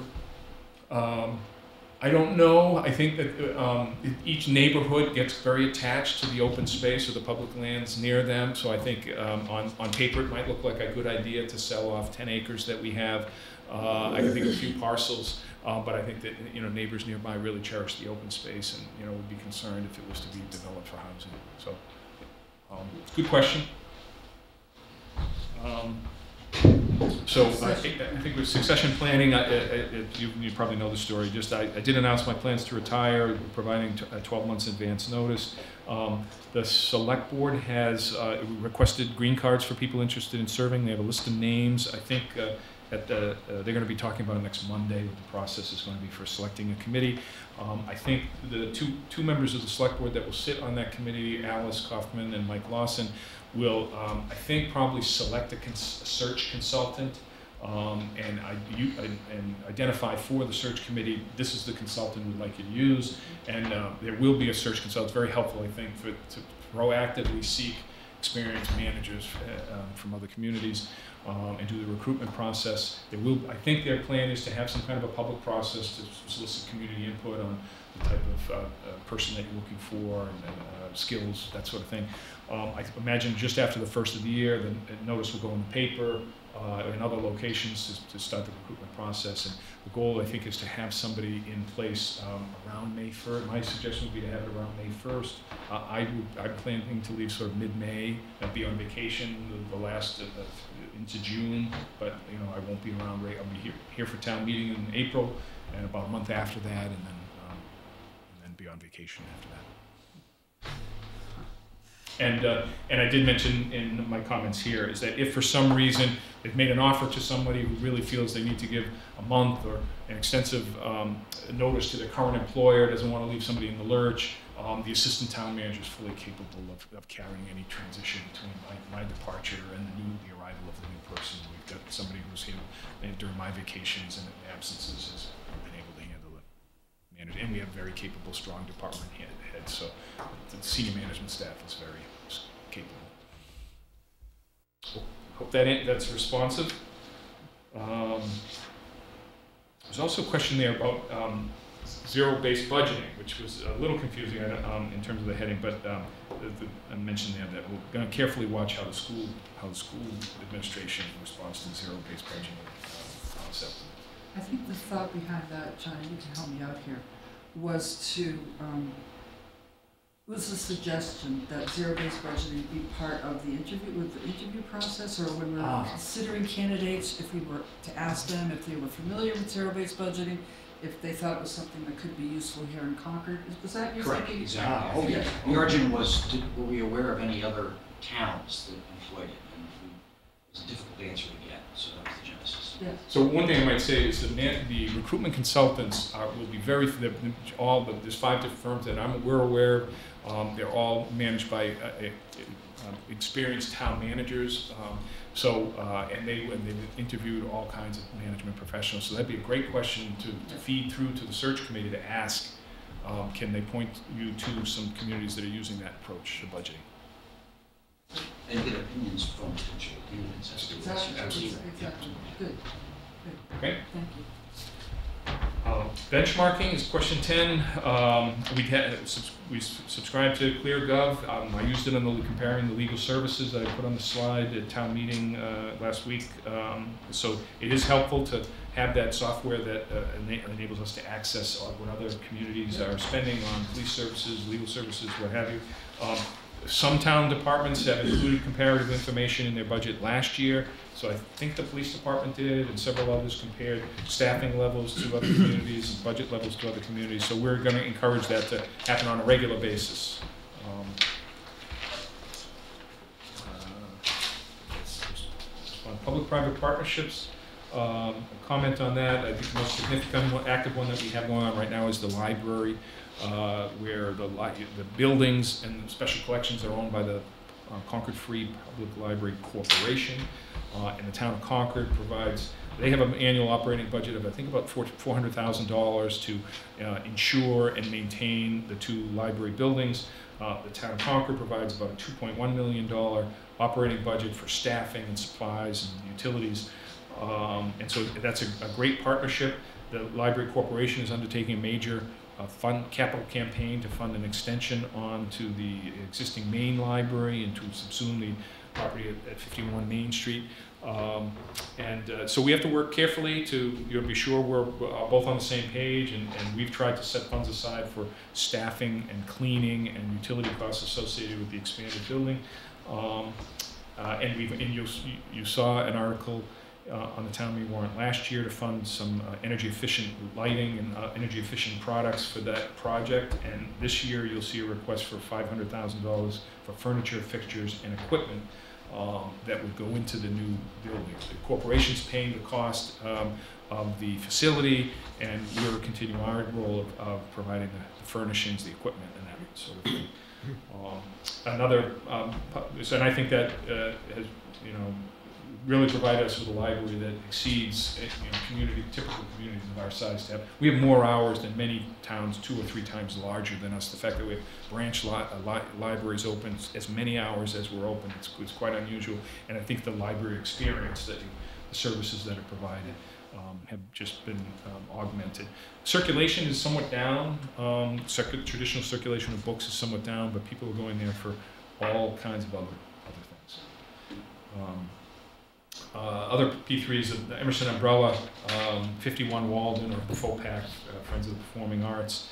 Um, uh, the other P3s that enhance the community include Restorative Justice, Friends of CC Fields, um, the Concord Housing Development Corporations, the Domestic Violence Prevention Program, Garden Club maintains the flowers out front here um, and, and elsewhere. Um, the Land Trust has been a great partner, think. So I, I think Concord has benefited tremendously from the public-private partnerships that we use. Uh, the, there was a, a public-private partnership study committee. They recommended that we try to exercise more. Uh, First of all, uh, one of the frustrations I think people had was that some of those the, the decisions that are made by the private parties are not public, and sometimes the public can't get access to that decision-making process. So I think the hope was that the town would get more involved and host, uh, if we had a committee that was managing a, um, a, a- partnership like the library, this library project, and the community that had questions about it could go to a public entity and have their questions answered or that sort of thing. So um, we're giving some consideration to that. We wouldn't do that for the garden club or one of the smaller projects, but I think the committee even said some, the project's over hundred thousand dollars. Maybe you want to create opportunities for the public to find out more about what's happening. The Yeah. Concord Housing Development. The Housing, Housing Development Corporation, Junction Village was a case. Exactly. The Emerson Umbrella, people, neighbors had questions about what was happening there. So um, I think it was a good recommendations and we're exploring you know, how, how to, how to implement the committee's recommendations. Uh, and then additional information, the, um, the, the last, um, I did want to comment on the citizen survey. We, uh, provided some, John provided some comments on, on how people feel about the money that they're spending. Um, and then lastly is the, the inventory of, um, department head requests for funds before they've submitted their budgets. Um, the finance department is just now collecting formal budget requests from department heads so they get the details. But, uh, the preliminary, this is a preliminary list of, um, of expenditures that department heads are hoping the town might, uh, make available, and, and what- there's considerable additional staff, uh, that have been requested, in- including, uh, a, position the town manager's office shared with the human resources department. We don't have a receptionist in this, in this building, and, and often we have um, people up on at lunchtime, the public comes in and uh, has difficulty finding out, uh, getting directions for where they need to go. The resource sustainability position that was funded by town meeting citizen petition, um, we didn't fully fund it to expend all the funds the first year, so we, last year we came up, had to come up with forty-eight thousand dollars. This year we have to fully fund it, so uh, the, that increases our obligation to fifty-two thousand dollars. Um, And uh, we're interested in hiring a facilities HVAC technician. This will actually result, currently spending about hundred and sixty thousand dollars on HVAC, um, in, uh, we have fifteen different HVAC budgets and fifteen different building accounts totaling hundred and sixty thousand dollars.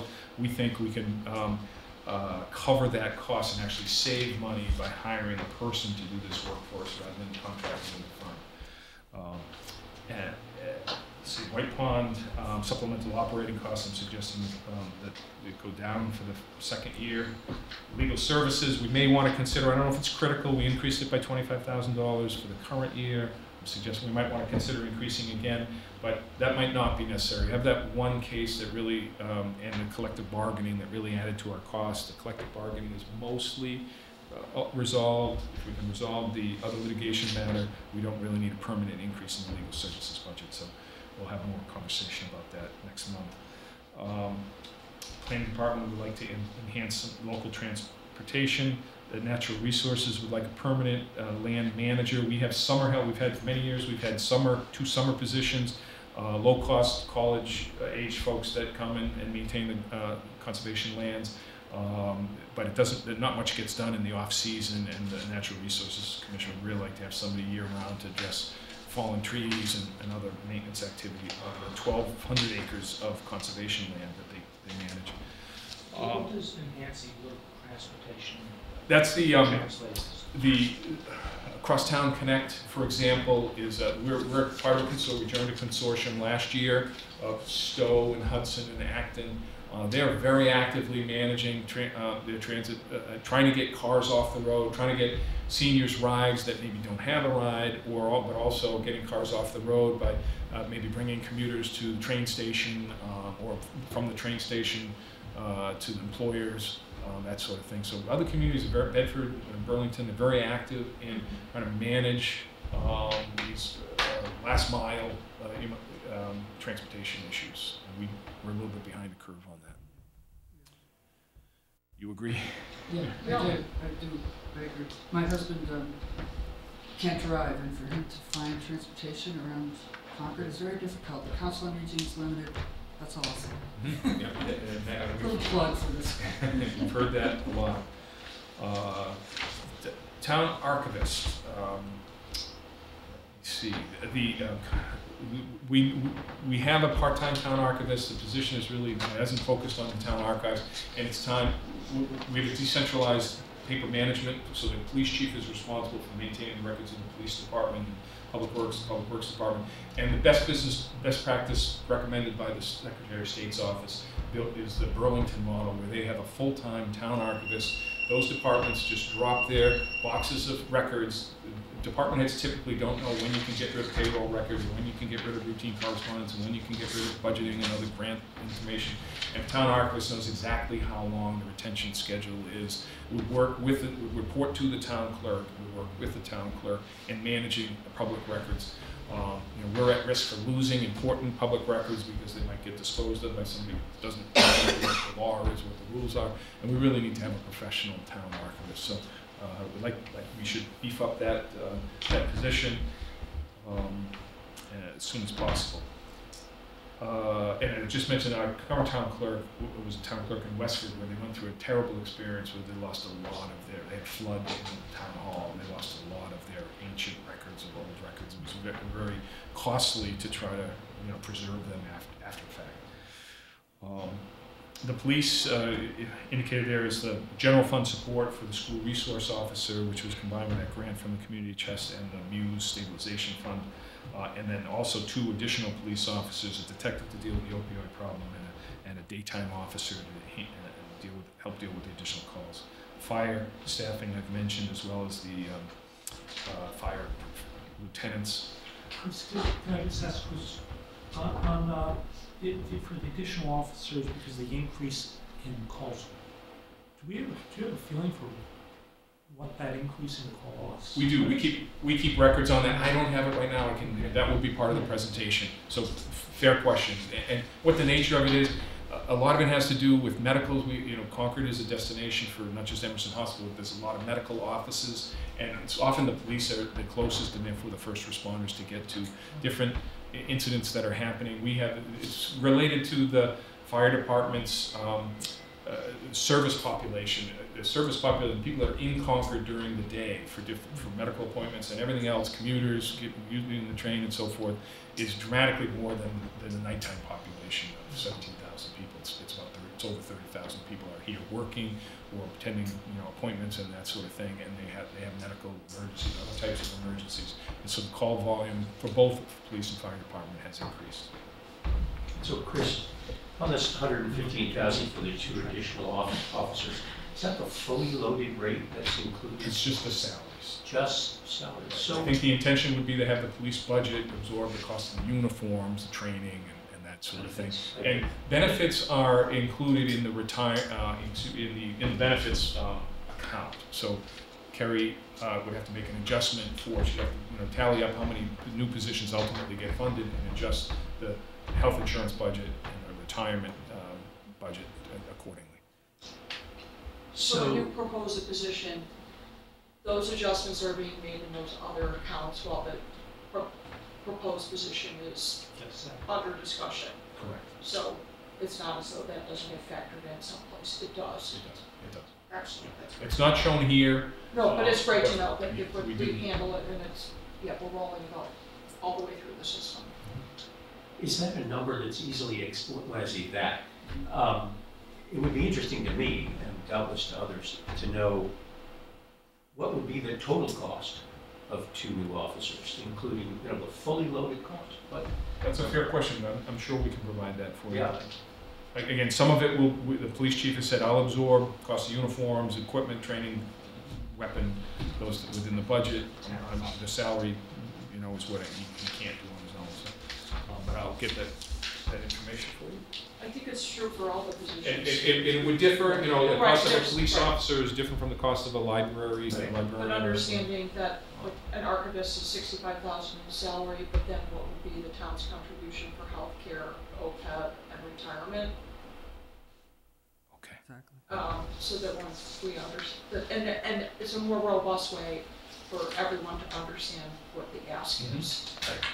So for this preliminary conversation, we don't usually do that. When when you give me the preliminary guideline and say, this is how much you have, that's when we get into the weeds on what the, what positions are we really going to try to fund and what's the cost of those positions, rather than run those complex numbers on, you know. Understood, but in the position. past, when we've talked even further down the road, Yep. we tend to only talk about the salary number. Fair, fair enough.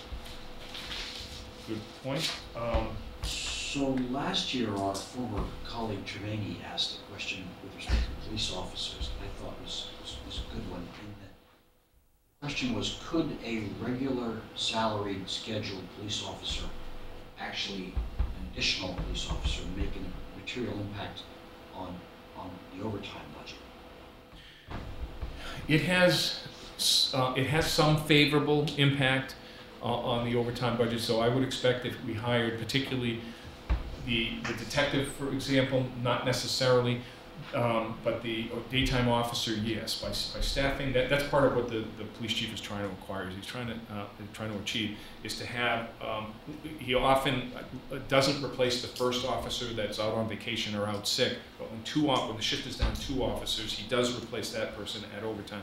By having a larger shift to start out with, he might not have to replace either the first, the first officer out or the second officer. I just wonder if, if he might be interested in doing that analysis to, to partially offset. To justify the, just, there may be some overtime. Exactly. That's a good point. Trevani's outline. A good question. Uh, so that's, uh, police, fire, IT communications for the library. Can we Uh, back up to the fire for a minute? Sure. So these two positions here, no, one is a position, a second staff, and the next is promoting um, current firefighters. Right, so the That's first all is four, predicated on getting four fire, four- four fire. So this doesn't include the four incrementals that you're hiring and funding out of the stabilization. fund. This is, this is the general fund, so first year general fund support for the four officers. So the, um, the total cost of the four officers is two twenty-five, um, along that line. And, and, um, the fire chief's proposal is that we provide, um, eighty-nine thousand dollars this year, an additional eighty-nine thousand dollars in the second year, and reduce the, the stabilization fund support by that amount, and then another eighty-nine thousand dollars in the third year and the, and then the stabilization fund goes away, and the general fund has fully funded the positions over three years. That's the fire chief's proposal. So this eighty-nine thousand dollar increase is a portion of the cost of the four firefighters. Ah, Does that make sense? yes. Third, it's a third of the cost, What would happen if you just hired two additional firefighters? Would that mean you could expand the hours? They operate, the fire department operates on- with four groups. Um, So what he's doing is adding one firefighter to each group. Um, And so that, um, we've added one firefighter to each group that's, and those officers are working, most of the firefighters are working twenty-four on, twenty-four off, they work a twenty-four hour shift. These folks are working a twelve-hour shift, which is a little unusual and um, not necessarily desirable to be the only folks in the group that are working a twelve-hour shift. So when uh, we add another firefighter to each of those groups, they would, um, they would work- then work the 24, uh, the 24 hours. And I'm sorry, I think I'm forgetting your, your question. Uh, oh, could we just add two? So that wouldn't, so we'd have two groups with enough firefighters and two groups that are short of firefighters. So we'd find that the ambulance would be operating, you know, Monday, Wednesday, Friday or something, something like that. Or, you know, whenever these different groups are working, it, it, no, it wouldn't really wouldn't achieve our goal. So is this all predicated on getting the second ambulance in West Concord? S- Fully staffed.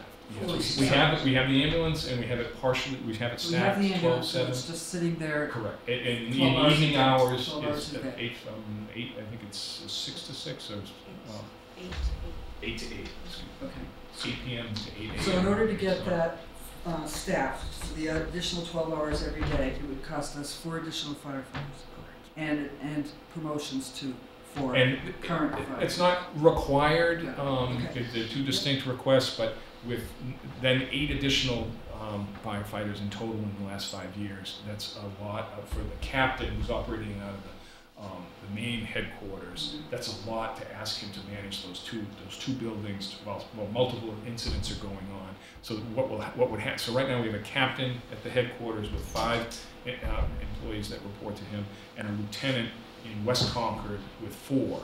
And um, the goal would be to have a, a second lieutenant in the headquarters station so the captain could go wherever he he's needed and not, he, because he's serving as both the shift commander, managing the whole operation in the town, and the, uh, the, the leader of his group in the, in the, in the headquarters station. So what he's asking is that we have a second person to be the leader of the group, and he managed the whole, he manages the whole shift, the captains. So Chris, the, the, the total eventual cost of staffing the second ambulance is, if I understand correctly, two hundred and sixty-seven thousand dollars a year. But we're gonna sort of step into it. What happens during the steps? What, are, I mean, are we not gonna have, So we, we're, so we're, we're, it'll be fully funded, we'll be using, utilizing, to get to the two sixty, we'll be using Mews money, um, combined with this Okay. eighty-nine thousand, Okay. total amount that's needed, right, and then diminishing the Mews contribution and increasing the general fund support gotcha. on a, So uh, that by year three, it's all. year, in year three, uh, in year four, or year it's, four. uh, uh, um, no, there's no more Mews And funding. the two sixty-seven that Tom just um, calculated for us, again, is just salary, it's not any burden. That's correct. Is that, is that? Yes, that's correct. Okay. Thank you. Uh, IT, um, in the position in the library, uh, I'm interested in, um, the I, the, the library is on the cutting edge for, um, you know, change developments in, in technology. Um, that's where people are most, residents are most knowledgeable about uh, IT matters, um, are, are going. And we found that it's, it's hard to keep a librarian up to speed with all the changes that are going on and the different devices people use. So my suggestion is that we hire a, a person that will report to the CIO, the Chief Information Officer, and who will be current and stay current in all technology matters, uh, that will work with the librarians, but that will not be a librarian, um, him or herself. Um, so this is for a, a tech position in the library that's not a librarian. Most of our um, tech positions in the library right- now are librarians who have a, a knack for technology, but aren't really technology uh, people. So anyway, this is the change, and because the expanded um, li- main library is going to have a technology focus, where they're going to really try to um, beef up the technology technology that's available. Um, part-time the custodian, uh, the, the, there's a need for right now the the library director is sort of the chief custodian or chief maintenance person, so anything related to the contracts of custodial cleaning, repairs, all that goes through the library director. She, she spends a lot of time managing the facility, um, and it'd be helpful for, to her to have a maintenance supervisor twenty hours a week to manage those contracts.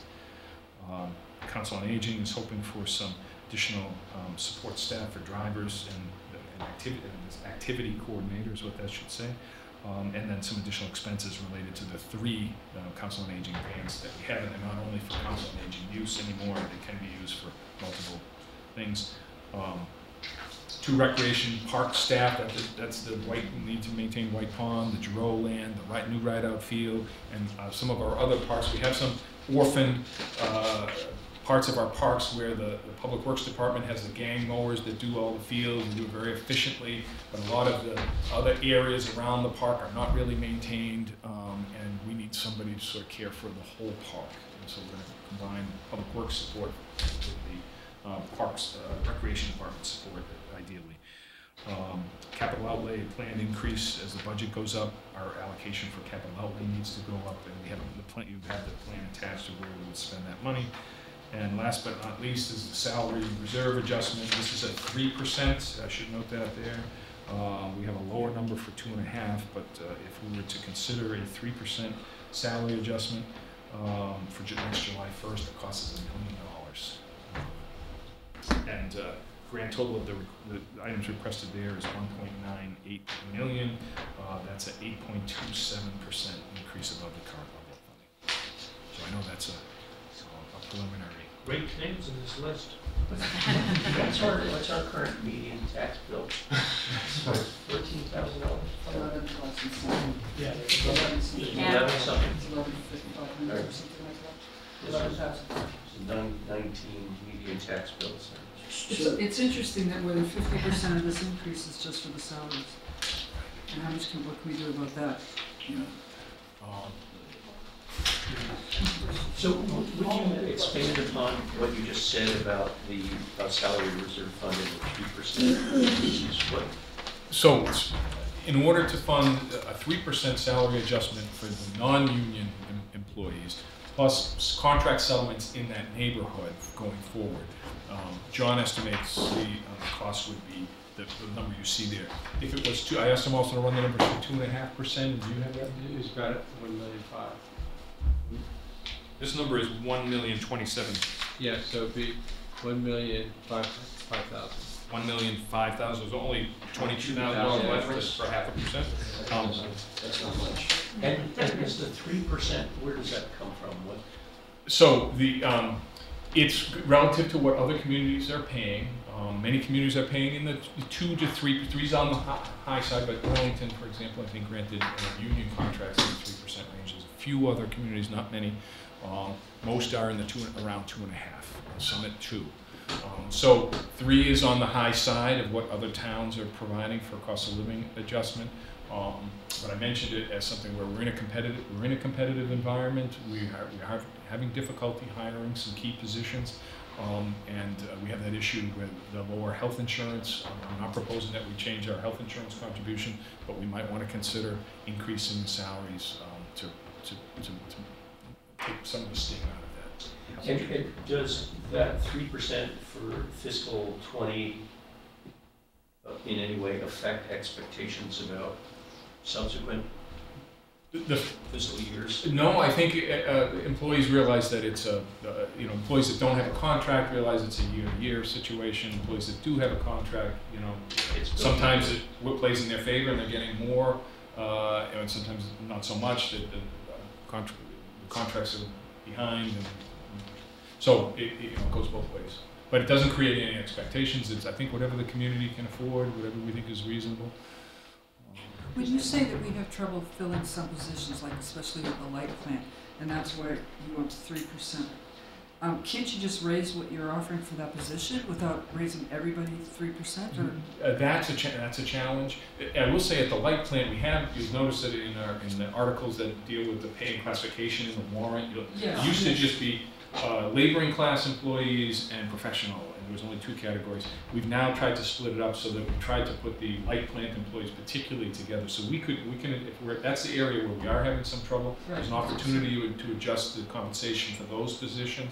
Um, so that's possible, but if we, um, there are, uh, uh, classifications that cover, you know, many departments, including the light plant. So the accounting position, I think, is grouped with all the other financial people. So we can't just increase the compensation for the, the light plant account and not, you know, provide comparable adjustments for other people that are involved. but you have some flexibility. We have some flexibility. Just as comparison, um, so the, the, uh, last high school teacher contract, um, the, the one that was negotiated a year or so ago, um, and I believe was two, Seven five? no, it was- I think it was two, two and two and a half, wasn't it? Three-year contract? Two, two and a half, two and a half. I don't know, sounds right. Yeah. I can't, Yeah, I saw the number just the other day too. yeah. Um, It was less than three percent. It is less than three percent. There's a two and three quarter in there somewhere, but I don't know if it's CPS or the region. So, so with respect to using Burlington as a comp, I mean, Burlington's a different, it has a different tax base, they, they're loaded, right, they have all these, uh, A lot of commercial, industrial. commercial. And they shift, they shift the tax rate, so it doesn't hit the residential rate as hard, perhaps. Do they have different, different rate for commercial? They do, yeah, uh, Lexington, Bedford, Burlington, those communities along one twenty-eight, they all shift, uh, to the commercial industrial sector and really raise a lot of revenue that way and have a lot more flexibility. Whereas our, uh, rate really hits the residential taxpayer, you know, fully on. Any, any, um, people in the audience have any questions tonight for Chris? Are we gonna ask about this, uh, this email, maybe you did before I We got here? did, we did. Do you want to ask a question? Um, uh, did you ask about the bus facilities? Um, It's on the list, a- and it's indicated, my understanding is that the, um, both the CP CPS and the region pay, fully pay for all the operating costs, so, you know, heating the building and the lighting and, uh, staffing, it- are paid for by Concord Carlisle Regional High School, so both communities participate. Um, but the capital cost, there's been no recovery in the capital costs. that were paid I, I remember a promise when this was being built, that the uh, town would charge rent or the schools would pay rent, or the district would pay rent. Um, Do you recall that? Uh, Representation? It was discussed, it was, it was, absolutely discussed, and, um, and and I think the statement from Carlisle was that we, they, and they, I mentioned earlier in an earlier conversation, that when they were rent leasing space in Acton, um, the region contributed to the lease cost, and therefore, the, the, the fair share was paid. When Concord building, lease went away, and therefore the payment went away. Um, I did discuss with the superintendent when the building opened, you know, could we work out an arrangement on lease? How, how can we, how can we do this to, to have it fair? And after a couple of conversations, said there's no real easy way to make that happen. That's, that's a challenge. Well, when who paid, the the town Concord paid for the buildings, correct? Four million dollars, approximately. Approximately, And town Concord paid for the old bus depot too, yes. correct? And, um, when that was torn down, that was still, the title had not been turned over to the school district, is that, is that correct? Uh, not in an informal way. I think there was the, uh, the understanding was that it was property of the region. That when it was built on, the- on Is their there an property. agreement with It- Carlisle? No, no. Okay. So the school district tore down a million dollar property the town built, Carlisle didn't contribute to that. Correct. And now we built another four million dollar building, Carlisle hasn't contributed to that. Correct. So can't we charge rent to this district? So I'm, I'm open to, I did broach the subject with the superintendent, um, and, and it was a challenge. So the two of us had that conversation, and I understand her position, and she understands mine, and, um, but I think it's a bigger convers, it's a bigger conversation. how to- And same for all these others, uh, what about all these others where Carlisle is not, hasn't contributed to the Blue Building, uh, Emerson Track, Beede, et cetera? Uh, So, so far, we, we just, I just provided the information, might be the I know. committee wants to talk about it and figure out the. Okay, it's not. So- nobody's, nobody's asked. No. Okay. Also, didn't we decide that we would try to determine what was common and what was best practice? through Correct, some that's other fair, We did. that's We right. did try entity something. that- But My suggestion, my question was the auditor, but maybe that's not the right way to approach it. But by some measure, we should look at these issues and, and see what's common and, And and others, How- regional school districts. Yeah. Yes, So we. Exactly. I've been asked to do that, so one way or another, however, we'll either internally we'll do it or out using somebody outside. we'll some sense. You Find out say that you From a come that. handful of, um, Yeah, you did. districts in our area, is it typical for the host community to assume all of these costs or, or not? You know, and, and exactly, we'll doc, document how, how it works. Thank you for reminding, reminding Okay. Okay, thank you very much. thank you.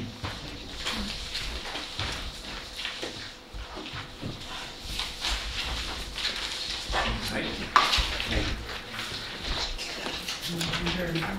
Very- I thought I was gonna do this.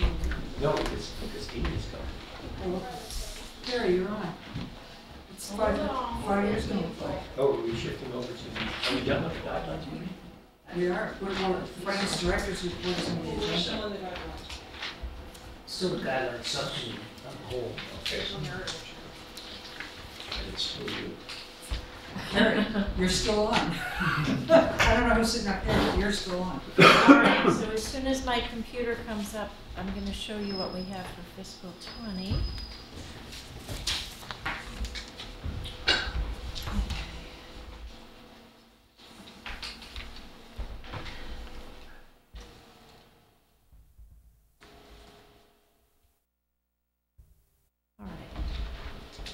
So what I have for you this evening is um, some preliminary estimates on fiscal twenty revenues and fixed costs. You don't have a hard copy of that, do you? I don't, um, Okay, that's okay. I can, I can distribute something No. to you.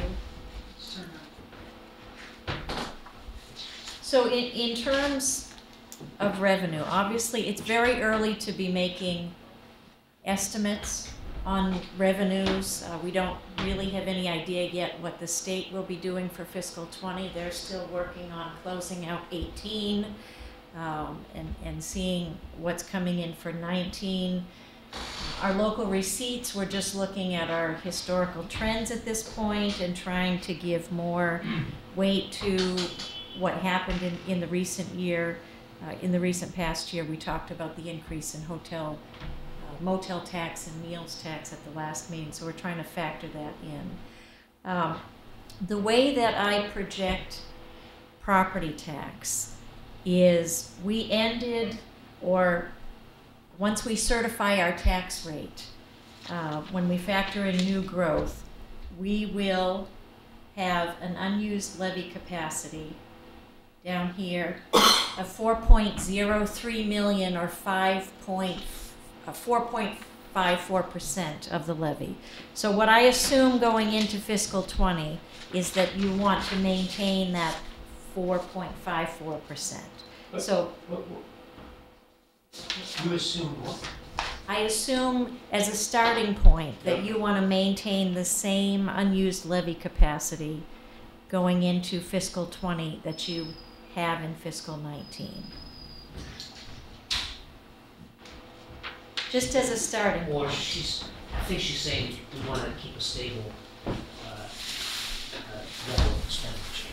Is that the same thing? Well, a stable, percentage coming from, from property Well, it's another way of saying that we, we would find acceptable a growth of our annual budget by four point five percent? No. No. Okay, no. So I'm totally It, misunderstanding. it's the pound, the amount that we're, That's available. under two and a half, we, we Steve, could that's tax, Okay, and we're okay. not. All right. So it's what's We're under available the to us cap. without an override. Okay. Is that right? You have to assume something, Right. Yep. and she's saying- assuming that the unused levy capacity stays the same as last year is the starting Is the assumption. starting Exactly. assumption. Okay, It can, it thank can be something else, but this is where we started last year. If you'd like to start somewhere else, we, that can easily be factored in. So if we make that assumption, then, and we factor in an estimate for, for new growth, and we factor in what the exempt debt will be, the increase in property taxes, if you're comparing um, total tax raised in twenty versus nineteen is three point eight nine percent. Now, that includes new growth, and it includes an increase in exempt debt. That is not the starting point for the proposed impact to the existing base, and we'll, we can go through the difference there. Um, In, Say that again, say that last sentence again. The two, no, so what I'm was the sorry. last sentence? I already forgot. say? Total, It was, it was really good, though. She's, she's trying to differentiate between, Oh, the yes. impact on existing taxpayers Yeah. and the total increase Yeah. from tax revenue, which, uh, So you're going at it from the revenue side. Right Yes. now, we're just looking at it, the They're revenue, totally separate topics. and we'll, Got we'll morph, we'll totally morph separate into what the impact would be for the existing So that's- That's what I want to know. Well, but, but, but, but there was another thing, you said the increase in exempt The, debt. the increase in exempt debt, and I was going to follow up with a point on that. So it's not, it's, it's not that the overall exempt debt is increasing. The change that is happening in fiscal twenty is there is no more money in the high school debt stabilization fund. So we have been pulling over the years an amount out of that fund. Right here, it's highlighted. So in fiscal sixteen, we took a million and a half out of that fund to reduce the exempt debt associated with the high school. In seventeen, it was a million, in eighteen, seven eighty-five.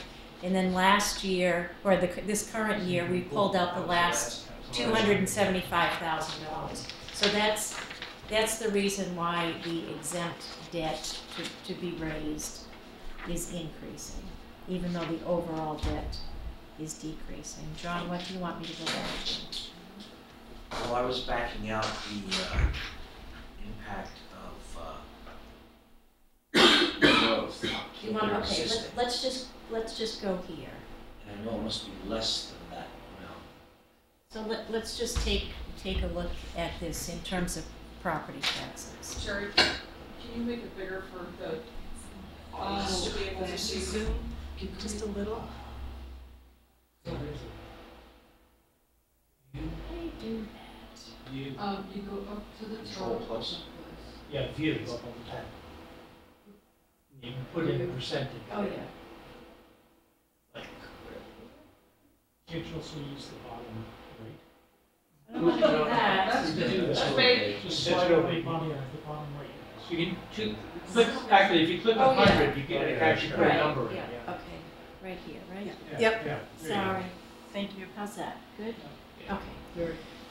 So if, if we want to just look at what is the impact to the existing base, that would be for, um, not taking into, well, to the existing base, including the increase in the debt exclusion, it's two point eight nine percent. Broken out between two point four four percent to increase the base and 0.45 percent for the debt exclusion. So two point eight nine percent. The new growth is one point three percent. The total is four point eight, and the diff- the difference is just what we're calling the base from, from one calculation to the other. But this is the calculation that we use in, the, in your spreadsheet, the guideline spreadsheet. We calculate base to base, not total tax to total tax like I'm using in the summary sheet. And the combination of those two is really about 3.11? The three, the three point one one is the overall revenue increase. Are we? I, I won't move from this until people are, and I'll, s- I'll, s- I'm happy to send all of this out. That would be. Please send this out, because something That'd is, is not quite as This is. I understood it. Um, We shouldn't really be comparing the three point one one, but we should be comparing the three point eight nine to the number before new growth. Right, and so the, the three point eight nine percent up here is comparing total tax to be raised Yep. over total tax to be raised in the prior year. And the other shows base, the base tax, no, no exempt debt, no new growth over the base. And I, And that percent increase is two point, two, It's two point eight nine. two point eight nine. okay, that was the number. So I'm maintaining this because the, these are the calculations that have been used in the past. I found it fairly confusing and spent a lot of time going through this, and I I can show you the calculations. I think we can stick with, the, the difficult thing is we like to break out what is the impact to the existing base. Um, But for this presentation, we're comparing total tax to total tax. Um, We don't need to include that because we really focus in on what, what is the impact to the base. Um, So if this is confusing, we can eliminate it. We don't ever, I only use this for my own purposes, we don't ever use this. I- I'm not sure this ever gets in the finance committee report or anything like that, You but move the total tax to total tax. total tax to total tax. Oh, we do in our We only look at the effect on the existing base. That, when you go through, when you look at the guidelines worksheet, when you work through that process, you're looking at the impact to the existing base. When we do that, we are, you're right. Yeah. But isn't, for some reason I think we should. So we usually have, we have the income tax and then the, the tax Because increase. I'm happy to put together a narrative and spread, s- send that out to you on how it's calculated, and you can let me know, Um, um, you can let me know your thoughts. I spent a lot of time going through it because it was confusing to me, because it seemed like they should both come out the same, but it has to do with the base that we're using, and I'm just maintaining the calculations that we've used over time. Um, and we certainly can change what we're focusing in on.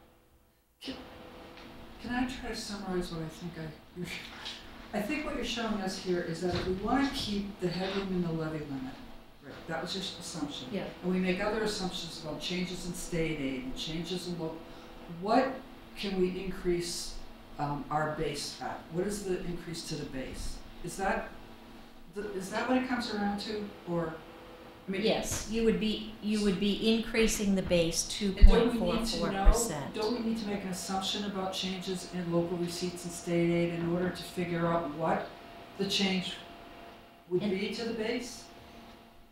Yes, and that's all, that's all factored in. So would, Yeah, I, I don't assume we, that she It's all up in right, Boston. so don't, don't we have to look at it this way? And we can't just look at the base? Well, you can't, you can't just look at the increase to property tax. That's what I meant. Right, because there is a huge decrease to available funds because we don't have anything coming from the high school debt stabilization fund. So, is that, I'm, feel like I'm losing people. I feel like your idea to put a summary together and send it out and have us look at it. I would love to play around, I would like, I would love to drive around that. This is where, this is a lot to absorb at nine oh five. Yeah, it is. Yeah. Send that out, send that out But I would like to see it. and, and we, I- I would like to look around at it and then talk about it again. Yeah, and I, I've had a I, chance. I think what I was hoping to do was to give you an idea of, of what the numbers look like, what the fixed costs look like. So you can, you know, over the, the next six weeks or so, you're going to, you're gonna hear from the school, you're gonna have to make a decision on a preliminary guideline number, then you're gonna get some more information. Um, I'm gonna continue to work on these numbers. Ho- hopefully we'll make some positive progress, um, as time goes on, and then you make a final, a, final, a preliminary final recommendation in November, and then you look at it again before town So. Kerry, on for, for the big picture, is- is this essentially telling us that the, the total town budget could go up, if it went up three point one one percent, then that would keep the levy amount, that four Yes. million the same. And if we, if we flip here to this spreadsheet with, which you're all familiar with, this two point four four percent to the base would amount to a two point six seven percent increase to guidelines because we're taking into account additional revenue that is available. So the town budget could go up by 3.11, but the property tax increase would go up by 3.89. The, the overall budget can go up 3.11, but that takes into account, That's being The- by revenue from other sources. Exactly. but it, it is also the, the non-guidelines budget, the fixed costs has to be taken into account. So the overall budget goes up 3.11%, but the guidelines portion can only go up two point six seven percent without increasing, uh, without eating Oh, into your because all the unused fixed levy costs that were embedded in that, capacity. that three point eight nine number you gave us. Yes. Okay. So I would like to just, I know it's late, spend a couple of minutes just looking at the fixed costs. I'll make this bigger.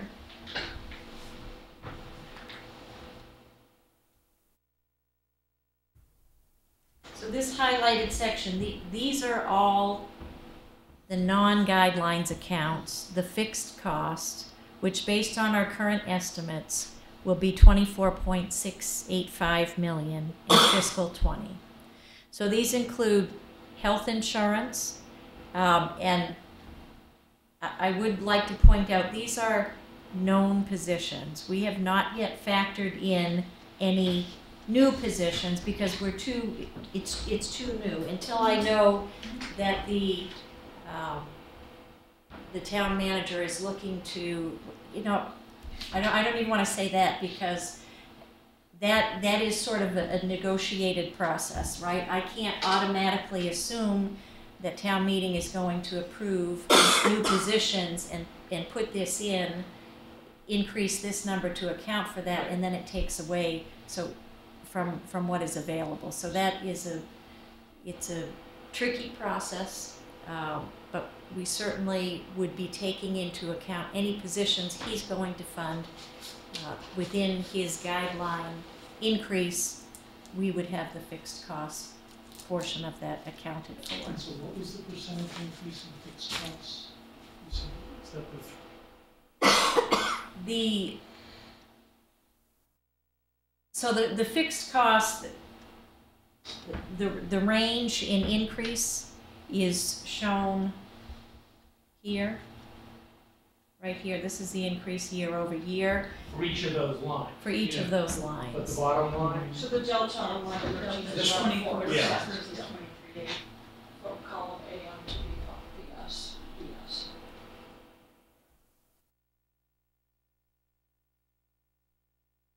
3.84, yeah. And so, and then that's, that's why we could only increase the operating budget by two point. By two, two point seven six, I think, it was. So health insurance, um, our plan year is June one to May thirty-first. We will not receive a renewal until February or March, so we have to make an estimate on what we think that increase will be. I've plugged in eleven percent. As we get closer to November, when you have to make your final guideline, I'm hoping I'll have a little bit of information on, on what we might expect. But I, I believe I mentioned to you at the last meeting or a couple of meetings ago, we are self-funded through a, a cooperative of sixteen communities. And the fund balance of the Minuteman Nashoba Health Group is much lower than it needs to be. And so I, it wouldn't surprise me if there is an extra percentage that is tacked on to the renewal in order to, to build that fund balance, because it is self-insured. Any claims, first dollar up to six hundred thousand, which is our reinsurance, is paid by that trust. And so we have to have, um, a certain amount of money on hand to pay those claims. And our, our, um, fund balance is at about thirty-five percent of what it should be, and it has remained that, um, this past year end versus year end, a year ago, it's pretty consistent. And that has to be about 35. pre-funded, does it? That can't be funded as, uh, as needed, on an as-needed basis? Well, it, no, it can't, it would be difficult because, because of the way towns operate, right? So we have to have a town meeting appropriation, and so So it has we to be have to, pre-funded. it has to be, Yes, it is predetermined, and on a monthly basis, we, we make, um, premium payments. So do- does your eleven percent increase then for, for the health insurance, does that include an amount that you think they're gonna ask for as an extra contribution? Yes, It does. it does, but it does not include any proposed new positions at, at this point in time. Um, Just interruption, do you have any idea what the total burden is for an employee? So if a new position is, uh, the salary is a hundred thousand, say, would it be twenty-five percent, thirty percent? Cause I know in, in industry, when we hire people, we, we pretty much had a, a percent number in the back of our mind as far as a fully burdened cost.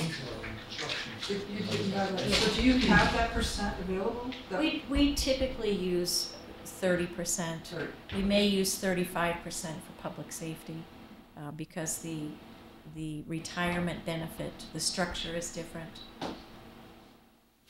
That, that's something we certainly could work on to come up with a hard calculation for that, but that's just thir- you know, thirty to like, thirty-five A large portion of this initial request is salaries, and that would increase it significantly to, to know the fully loaded cost. So it's something we should be aware of. So the, the OPEB assessment, Chris, Chris touched on that. Um, that, that number that I'm using is based on what was contained in the six thirty seventeen valuation for fiscal twenty. Uh, the retirement assessment is based on the one one eighteen valuation of the retirement system. That assessment still needs to be certified by the state. And hopefully within the next month, we will have that assessment certified, but I don't think, I think that number is, is pretty good. And those are the amounts that will keep us on the oak. Yes, uh, right. The retirement, um, system, as, as I just mentioned, the valuation is at the beginning of the calendar year. As of one one eighteen, on an actuarial valuation, it was um, about eighty-six percent funded, and on a market value valuation, it was about ninety percent funded. So it's, it's in great shape, but again, we, we are still on a, um, twenty, twenty twenty-nine cycle. Well, the, the market value of the value of the- assets, The the assets, okay, market value of the that- assets. okay. And the market value, so we do, on an actuarial basis, you smooth the increases over a rolling four-year period. And on a market value, you're not smoothing those, you're just accounting for the increase or decrease in the valuation of the assets in that period of time. Um, The discount rate used for liabilities, do you know what rate that is? For the uh, retirement system, it's seven percent, and for the OPEB, it's seven and a half percent. That's been a discussion. So is that the discount rate or the expected return? Well, you know, That's a When- discount The discount rate. So It's when- just So that's the- conversation, and some of that's been adjusted, but. I thought the discount rate for, well, okay, this is another discussion. I just- We'll do it another time. at one, at one point, you had an actuary on this committee, and when I used discount rate, he didn't like that. I can tell you, the actuary, everybody I hear information from, they use those two things interchangeably, Well, and they so. sort of, they're very related, right? You're bringing So the that's- future Growth- liability Expected growth Discount asset, back to the present, so it's a discount rate. discount rate. Right, but it's based on what you, But, but we should Based put on in the here. And that's, that's why when we had. They I don't so. They could Isn't it, in the, in the private sector, it's based on the ten-year double A corporate bond rate. And that's That's what what he our, was that's saying. what Yeah. was our actuary, that's what he was saying. Our Yeah, actuary and wanted us using. I'm sorry, much just She said we discount were way too high. This is a discussion for another time. Yeah. Sorry about that. No, I, I can tell you our, the rate we use is, and I'm not, I'm not even gonna clever, I'm not gonna call it. The rate we use is on the retirement system, it is on the low end of what retirement systems use. Oh, and in So that's a terms of, conservative thing. in terms of Yes. what yes, we that's are conservative. earning on an annual basis, um, I, I can bring that in, but, but our average is over seven percent, Over what period? over, well, we regularly track the ten-year period, um, but I, I think over the thirty-year period too, but I, I can, Oh. I could get you that information. I know we've, The big corporations though are using about, their, their use discount rate about five point five percent. And when Moody's does their, they put all the towns on the same footing, they use, I think, about five percent. So they, they would not use our valuation, they would go in, they use their own. Yeah. Put everybody on the same footing, and I think the, discount rate were using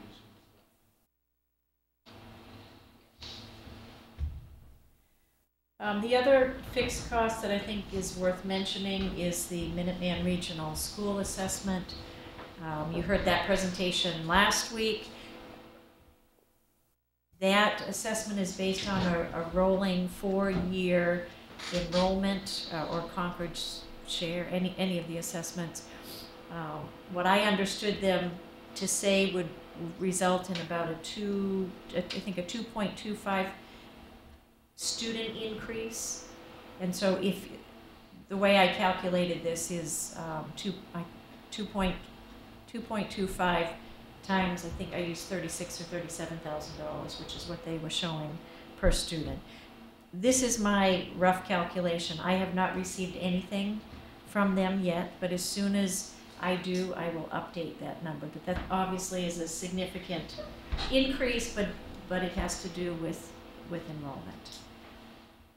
Debt service is all based on existing schedules and a projection for what our new debt service will be based on our debt plan.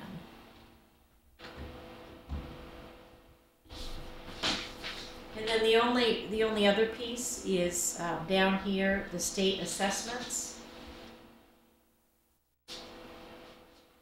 These are charges that we receive from the state for services that are provided by the state, such as um, the regional transportation, that the, um, the train. um, That, that, that would be the largest, but that's, that's what is included in there. Uh, we have a, a snow and ice deficit allowance of hundred and then we have our overlay, um, account for abatements and exemptions at five hundred and fifty thousand dollars.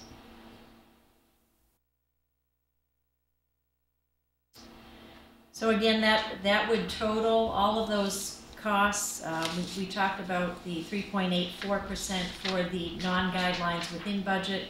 If you add in the non-guidelines, non-appropriated section, um, that would, that would eat into the available revenue, twenty-five thousand nine, twenty-five, twenty-five point nine six four million dollars, leaving, um, eighty-three point eight available for guidelines.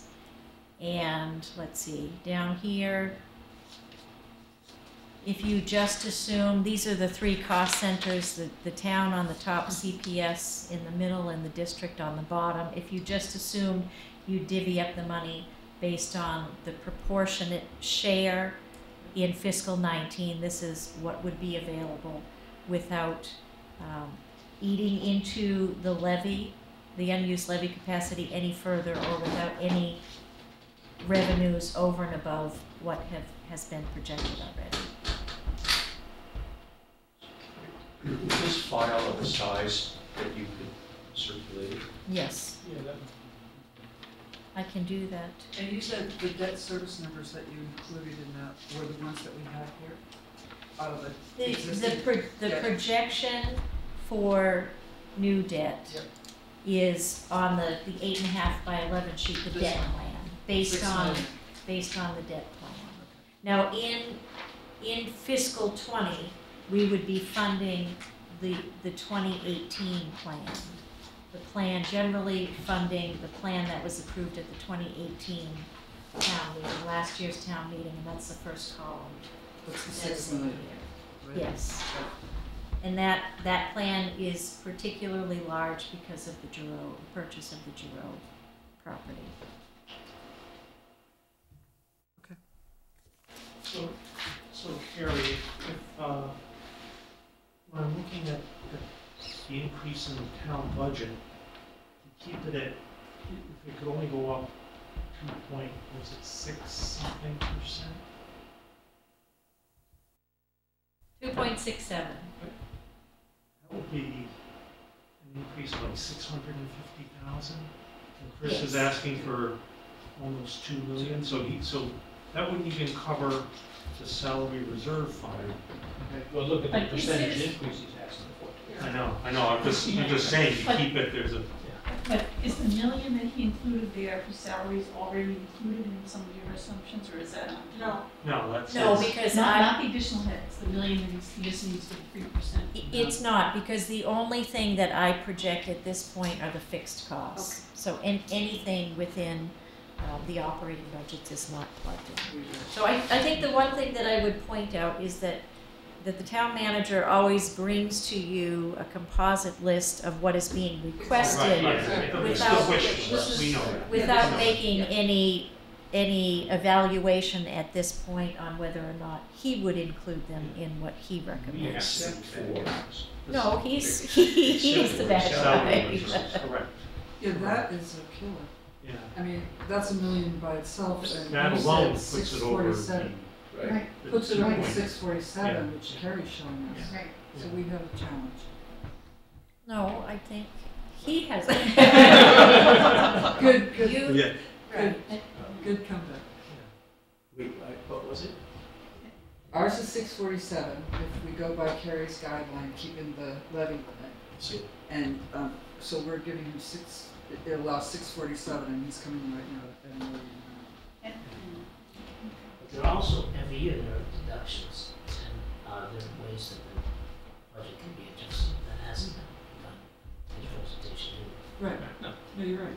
it's still This is early the in the first- road. This is the wish, this is the wish list.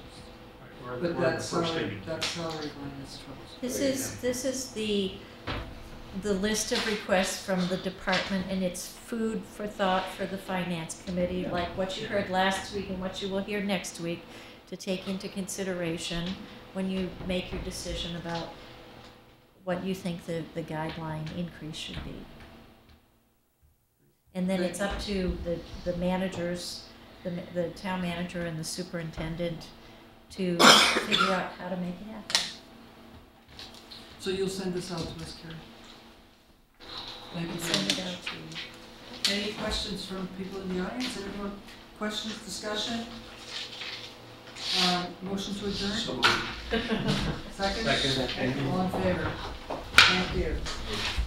Nicely done. Thank Thank you, you. everyone. I'm gonna have to work on it. Well,